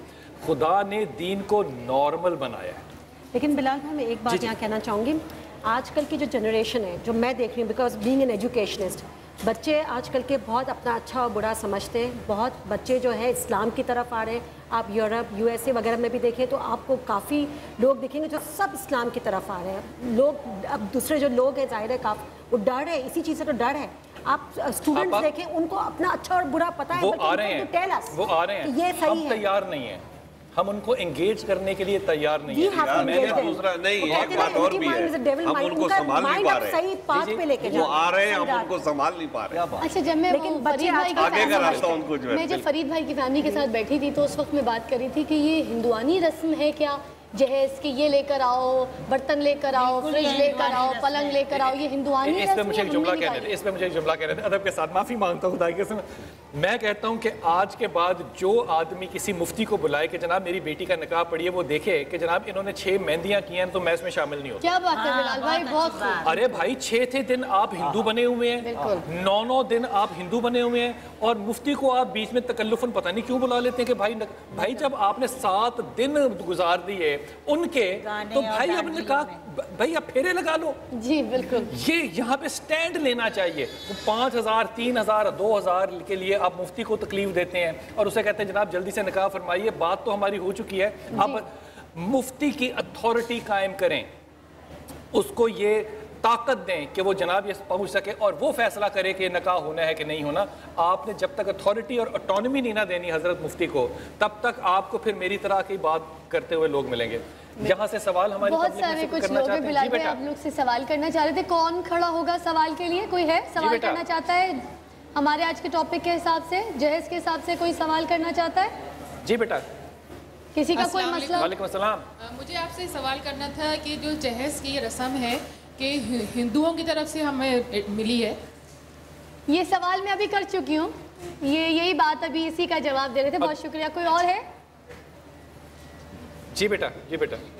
जी। सर ये जो जहेज की रिक्वायरमेंट होती है ये जायज़ है या ना जायज़ है रिक्वायरमेंट करनी। माशाल्लाह माशा आज रोज़ा था आपका। जी जी खैर से आप हमेशा से यहीं पे बैठे थे। नहीं नहीं। वैसे मुझे इनकी नीयत ठीक नहीं लग रही है। उम्र आपकी नौजवानी की तरफ़ कदम रख रहे और सवाल भी इनकी तुम जहेज। मांगोगे ये बताओ जहेज मांगोगे? जहेज मांगोगे? नहीं। तो खत्म हो गई बात शाबाश। बैठ जाइए जी बैठ जाइए बैठ जाइए जी, यही जवाब है। और कोई पूछेगा? जी जी। जी बेटा। लालच गरीब तबके में है अमीर तबके में पाई जाती है। दोबारा पूछिए। जहेज की लालच गरीब तबके में पाई जाती है या अमीर तबके में पाई जाती है इस सवाल को यूँ बना लो कि लालच गरीब तबके में है कि अमीर में भाई लालच हर तबके में है। हर तबके में है। बस जितना बड़े में में। जहेज की लालच पे जहेज की लालच पे। मतलब जितना बड़ा अमीर है उसकी जहेज के लिए लालच भी इतनी बड़ी है। जितना गरीब है उसकी लालच भी है ऐसा अमीर लोग भी मौजूद हैं उनमें भी। ये अच्छे अच्छे लोग मौजूद मांगेंगे हैं तो तो अच्छा लाल भाई मैं एक जुमला कहूँ एक अच्छा ये होना चाहिए या हम इसको जड़ से ही खत्म कर मैं एक बात बताता हूँ। जहेज हो तो भी ना हो तो भी ए, मुझे एक खातून ने बड़ा अच्छा जुमला कहा था वो आज तक मुझे याद है। इसी मौजू पे बात चली कि जहेज ज़्यादा हो तो सब बन जाए। आदमियों उन्होंने कहा नहीं वो के नहीं याद मैं चले। रहा। ये वैसे उल्टा चुन लिया आपने सीधा चुनना कहा था। तो बात भी तो मैंने उल्टी की है। नहीं नहीं सही बात है। लेकिन वो मुझे जुमला इसलिए याद है। अब आपने कह ही दिया तो मैं आपको जुमला भी बता दूँ। याद रहे आपके जहन में रहे। उन्होंने कहा बात जहेज पे थी कि भाई ज़्यादा हो तो बन जाती है और ये तो उन्होंने मुझे कहा पुत्र एक गाली याद रखी मैंने कहा जी कहते पुत्र निभ गई ते पहली राती नहीं तो फिर सारी ही आती नहीं तो फिर सारी ही याद अब इसको जरा उर्दू में समझाइए ना ਹੁਣ ਤੁਹਾਡਾ ਕੰਮ ਹੈ ਅਗਰ ਤੁਸੀਂ ਸਮਝਾ ਦਿਓ ਤੇ ਗੱਲ है बात ये है कि जहेज जो है ना ऐसे रिश्ते में आए हैं शाह साहब आप भी जानते होंगे कि बहुत कुछ था जहेज बहुत दिया और फिर भी टूट गई जी नहीं निभी ठीक है ना और ऐसे भी हैं जिन्होंने कुछ भी नहीं दिया निभ गई और मैं एक मैं इस मिसाल देता हूँ। बिलाल भाई बात ये है कि आज आप देख लें मैं समझता हूँ आप एक पुश्त पीछे चले जाएँ। आप अपने वालिद को देख लें या अपने वालिद के वालिद दादा को देख इनको देख लें आप। अपने को और हमें छोड़ दें आज। सर जिंदगियाँ गुजार दी हो ज़्यादा थी, हो हो अनपढ़ लोग थे हाँ। कम पढ़े हुए थे लेकिन वो आज उनकी दाढ़ियाँ चिट्टी हो गई उनके बच्चों की बच्चों की शादियाँ हो गई तलाकों की नौबत नहीं आई। आज तालीम भी ज़्यादा है मेरी बहन स्कूल भी चला रही हैं इनसे भी पूछ लें। आज तालीम भी ज़्यादा है अवेयरनेस भी ज़्यादा है टीवी चैनल्स भी हैं। उसके बावजूद आज रिश्ता हुआ दो दिन बाद तलाक की खबर आ रही है। क्यों? वेरी ट्रू क्यों? मेरे भाई इसका मतलब है मैं वही अर्ज़ कर रहा हूँ ना कि हम खुदा करें कि दीन सीख जाए। ये ये आप ये लैक ऑफ़ टॉलरेंस एक बात और ये है। लैक ऑफ़ टॉलरेंस एक नहीं बात और है ये ये लैक ऑफ़ करेक्टर है। करेक्टर है बिल्कुल। सर्फ ही। नहीं है। अच्छा, दीन से दूर हो अच्छा कौसर मैं कौसर बाजी से एक सवाल करना चाह रही थी कि नॉर्मली अभी ये भी देखना जा रहा है कि म्यूचुअल अंडरस्टैंडिंग होती है शादी हो रही है फैमिली में भी लड़का लड़की में भी। शादी के बाद लड़की काम कर रही होती है मगर बच्चे पैदा हो जाते हैं तो उसके बाद लड़की काम नहीं कर पाती। फिर जो सास ससुर जैसे जॉइंट फैमिली में रहती है तो वो ताने पड़ना शुरू हो जाते हैं। कि आप घर का खर्चा कैसे चलेगा? आप आसाइशें कैसे पूरी होंगी? लड़का अगर दुबई जा रहा है तो बीवी ने कहा मैं भी साथ चलती हूँ बच्चों को लेके। तो सास ने या ससुर ने बीच में फिर पंगा डाल देना होता है कि भाई क्यों जाओगी? तुम तो कमाती नहीं हो। तुम्हारे कौन से पैसे? हमारे पास तो इतना पैसा नहीं आएगा। फिर जब तुम खाती हो रोटी तो देनी भी पड़ेगी। फिर दूसरे कजन्स का ताना कि इसका जो बड़ा कज़न है उसकी बहू देखो वो कमाती नहीं कुछ नहीं मगर उसके घर वाले गाड़ी दे रहे हैं टोयटा दी है तो ये दिए मतलब बड़े तबके में भी ये बातें सुनने को आ रही हैं। तो आप इस बारे में क्या कहेंगे? बिल्कुल मैंने देखा मगर जहेज का नाम नहीं ले रहे वो लोग जहेज का नाम नहीं ले रहे? जहेज होता कमवा रहे हैं बहुओं मेन चीज़ है क्या? जहेज होता क्या? है लोग देख के फैमिली में चढ़ते हैं कि इतनी बड़ी फैमिली इतना पैसा है। हाँ। ठीक लोगों के बोली लगा के शादी। हाँ लोगों के दिमाग में ये चीज़ें होती हैं। बट देन अगेन मैं समझती हूँ इंसान को ये होना चाहिए कि अपनी बेटी को हम अपनी मर्ज़ी से दें जो हम समझते हैं कि उसको वो उसकी ज़िंदगी की ज़रूरियात पूरी कर सके। बट देन अगेन ये नहीं लगता कि वो अपनी ज़िंदगी की ज़रूरियात पूरी करिए। घर वाले ये समझते हैं ससुराल वाले हम सबकी ज़रूरियात पूरा करने के लिए वो बच्ची अब- लेकर अब- अब मैं- मैं- मैं अपने That is अदब से wrong. राय That is मेरे ख्याल में माँ बाप को ये आदत डालनी ही नहीं चाहिए कि वो उस लड़के को कहें कि हम जिम्मे वो रगड़ा खाए और अपनी ज़िम्मेदारी उठाना सीखे। पहली बात ये जो जहेज आया ना ये पता क्यों आया है? पहले थे लोग भरे हुए। इसलिए गुंजाइश नहीं थी चीज़ों की। अब लोग है खाली। अब करोला की गुंजाइश है कि उसमें करोला। डालें और लोग भरें। लोग ही हल्के हैं। तो वो माल से नहीं भरेंगे तो किस चीज़ से भरेंगे? तो हमने लोगों के किरदार बनाने छोड़ दिए। सोच, और समझ का फ़र्क है ना? अच्छा शाह साहब इस्लाम की भाई, रोशनी तो जरा डालिए कि अब ऐसे लोगों के लिए आप क्या कहेंगे जो जहेज का नाम जितने ले लोग हैं मगर बहुओं को ऐसे जितने लोग पैसों की मशीन बनाते। हैं उनकी जो तरबियत है ना उसका उनके दिमाग पर अफसोस। कुछ आदमी ऐसे होते हैं कि उनका दौलत की तरफ़ बहुत ज़्यादा रुझान होता है। उनको जितनी भी मिल जाए तो फिर भी वो हल में मजीद के तालिब रहते हैं। तो ऐसे लोगों के अंदर ये बीमारियाँ पाई जाती हैं कि वो दूसरों पे नज़र रखते हैं। यहाँ- पे यहाँ पे यहाँ से। यहाँ यहाँ औरत अपने शोहर को कहे कि भाई खुदा के वास्ते मर्द का बच्चा बन औरत ना बन। इसमें ये दो औरतें हैं। तो मेरी बीवी को कैसे मेरा बाप कह सकता है? कैसे मेरी माँ कह सकती है कि तू काम कर? बिलाल भाई शादी नहीं मेरी बीवी है। वो मेरी रखवाली में है मेरे साय में है। जब तक मैं नहीं चाहूँगा ये बगैरती और बेशर्मी नहीं हो सकती। मतलब बेटा जो है वो स्पेस दे रहा है माँ बाप को कि अरे वो बेटा नाम का बेटा है ना है तो वो बेटी। सही बात। वो तो जनाना काम कर रहा है। अगर वो मर्द का बच्चा होता तो अपनी बीवी के आगे खड़ा होता। बेशक। वो बीवी के पीछे क्यों खड़ा है? बेशक बेशक। ये जेंडर डिस्क्रिमिनेशन जो है ना इसको समझना पड़ता है। यहाँ पे सिर्फ़ एक एमबीए की किताब पढ़ के नहीं हम कह सकते कि हमारे में ये नहीं है। नारे नहीं हमारी रूट खराब है। रूट में जब तक दीन और सुन्नत नहीं दाखिल होगी आप दुरुस्तगी का पहला कदम नहीं ले सकते। ये ब्रेक में मेरी एक दोस्त है उन्होंने मैसेज किया मुझे कि आप जहेज के टॉपिक पे डिस्कस करिए काइंडली इस चीज़ को भी उठाइए। क्योंकि वो बेचारी सफ़र कर रही है। मैं नाम तो नहीं ले रही मगर मैंने बता दिया कि भाई मेरी बहुत करीबी दोस्तों में से एक कॉल भी हमारे साथ नहीं उस, उस सहेली को एक पैगाम भी हमारा जी, दे जी, दो। बिलाल सहेली को कहो कि अपने शौहर बहन को हमारा सलाम कहना बहुत आला और साथ साथ सलाम है हमारी कॉल को। कौन है जी? अस्सलाम वालेकुम। उसे कहना ये प्रोग्राम भी देखे। अस्सलाम वालेकुम। जी। जी भाई कौन बोल रहे? हैं जी जमाल बोल रहा हूँ। जमाल फरीद मेरा नाम है। जनाब जमाल साहब। भाई से मेरा एक सलामत कीजिए। मैं पचास हज़ार रुपये डोनेट करना चाहता हूँ। माशाल्लाह। मैं नहीं। मेरी एक रिक्वेस्ट है कि हम लोग कहते हैं कि मैं देना चाहता हूँ। देखें ये अल्लाह ताला की तरफ़ से दिए हैं हमें। अगर ना मिलते तो ना देते। तो ये लिहाजा ये कहना बेहतर है कि अल्लाह ताला की तरफ़ से। जमाल आप, आप कहाँ से बात कर रहे हैं? जी मैं कोट मिटन राजनपुर से जी देखो यार जिस जगह से तुम बात कर रहे हो कोट मिट्टन से यहाँ पे जो बाबे दफन है फिर उनकी खैरात तो तुम्हें मिलनी थी ना एक किरदार तो मिलना था ना तुम्हें? माशाल्लाह अल्लाह तुम्हें खुश रखे आबाद रखे। हज़रत ये है फैज। ये है फैज कि लोग जो हैं जिस जगह से है वैसा तासुर रखते हैं। और फिर साहिबान मज़ार के दुनिया से पर्दा करने के बाद भी वो फैज जारी है। वाह हाँ हाँ हाँ दुनिया से बिल्कुल बिल्कुल बिल्कुल जाने के बाद भी फैज जारी। हज़रत जो माँ बाप हैं आज इनको एक एक हाँ जुमला फरमाइए ताकि तरबियत का कि क्या करें अपने बच्चों की तरबियत में? देखिए तरबियत वो आदमी बेहतर कर सकता है जिसकी अपनी तरबियत हो चुकी हो।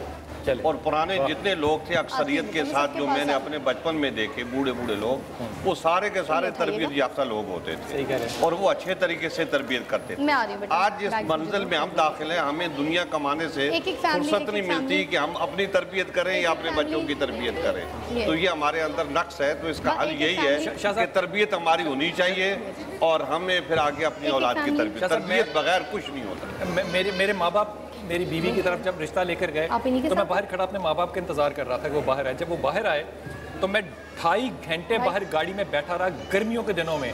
जो माँ बैठी तो मैंने कहा अम्मी कुड़ी देखी? अम्मी कहती हाँ वो तो मैं भूल ही गई। तो मैंने कहा आप ढाई घंटे अंदर कर क्या रही थी? कहती है मैं ओदी माँ देखी है मैंने ठीक लगी है। पहले लोग माओ को देखते थे घरदार दे, घर बार देखते थे और लड़की को हाँ कह देते जब बरकत की बात शुरू होगी ना फिर बरकत आगे जाएगी और बेगम साहबा ने मेरी जो शर्त रखी थी ना वो सिर्फ़ ये रखी थी कि महर मैं अपने हाथ से लिखूँगी। और मैंने शर्त ये रखी थी कि मस्जिद में निकाह होगा और वलीमा मैं करूँगा। उसके अलावा मैं अपनी बीवी के घर में नहीं घुसा हुआ था उससे पहले। मेरी माँ मेरा एक दोस्त है मंसूर हसन और उसकी बीवी इसमें आपका कमाल नहीं है। वो जहाँ का कल्चर जो है ना वो यही था कि वो यही था, वो यही था। मेरी सास ने भी मेरी अम्मी को देखकर और मुझे नहीं देखा था और हाँ कह दी थी। और ये मामला इसी तरह चलता है ना? इसी तरह चलता है। एक एक जुमला बस वक्त जी जी। जैसे आप कह रहे हैं ना कि मेरी वालदा ने कहा वो तो मैं भूल ही गई। मगर अब सीन दूसरा हो गया है। वो वो वक्त था। अब लोग आपको पता है कि ये जहेज का एक मामला मामला अलग है। एक फ्रॉड वाला जो मामला है ये लोग- अलग है। ये अलग है। इस तरह का लोगों को घर दिखाते हैं। ये हमारा घर है ये हमारी गाड़ी है। वो है। किराए का किराए की गाड़ियाँ हैं वो नौकर चाकर सारे किराए के हैं और कोठियाँ दिखा दी गई हैं। जी ये है हमारा सब कुछ। तो वो कहीं रिश्ता उनसे कर लेते हैं सब कुछ देख के ये फ्रॉड फिर थोड़े दिन बाद जब शादी के बाद पता चलता है वो तो इनका था ही नहीं। कुछ था ही नहीं। वो तो जो तुम्हारे पास है वो लेके शादियाँ बहुत शुक्रिया आपका बहुत शुक्रिया। कौसर आपा आपका तो शुक्रिया अदा करना ही नहीं है क्योंकि आप हमारा ख़ानदान है। हज़रत बहुत मेहरबानी आप लाहौर से तशरीफ़ लाए। हज़रत बहुत अदब से बहुत शुक्रिया आपका। खौतिन हज़रत अब्बास के बारे में जो चचा थे आपके रसूल पाक सल्लल्लाहु अलैहि वसल्लम ने खुतबा हजतुलवदा में कहा कि अब सूद नहीं होगा। तो हज़रत अब्बास का इस पर जो रद्द अमल था वो ये था कि आपने कहा सिर्फ़ ये नहीं कि सूद नहीं होगा, आपने अपना असल जो है वो भी माफ़ कर दिया। जब ये करने के बाद अल्लाह ने इसका अजर ये दिया कि हज़रत अब्बास का ख़ानदान जो है साढ़े पाँच सौ साल कमो पेश वो हुकूमत करता रहा। और आपके बेटे जो हैं, वो बड़े अब्दुल्ला बिन अब्बास जो थे, वो बड़े सखी थे। कहते हैं, उनसे पूछा कि हज़रत फरमाइए कि सबसे ज़्यादा सखी कौन होता है? आपने क्या कहा? जवाब ये, कहा बद्दू। कहा बद्दू सखी होते हैं। कहते मैं एक दफ़ा सफ़र में एक बद्दू का मेहमान हुआ। और सात दिन उसका मेहमान रहा क्योंकि बारिश थी, मैं सफ़र नहीं कर सकता था।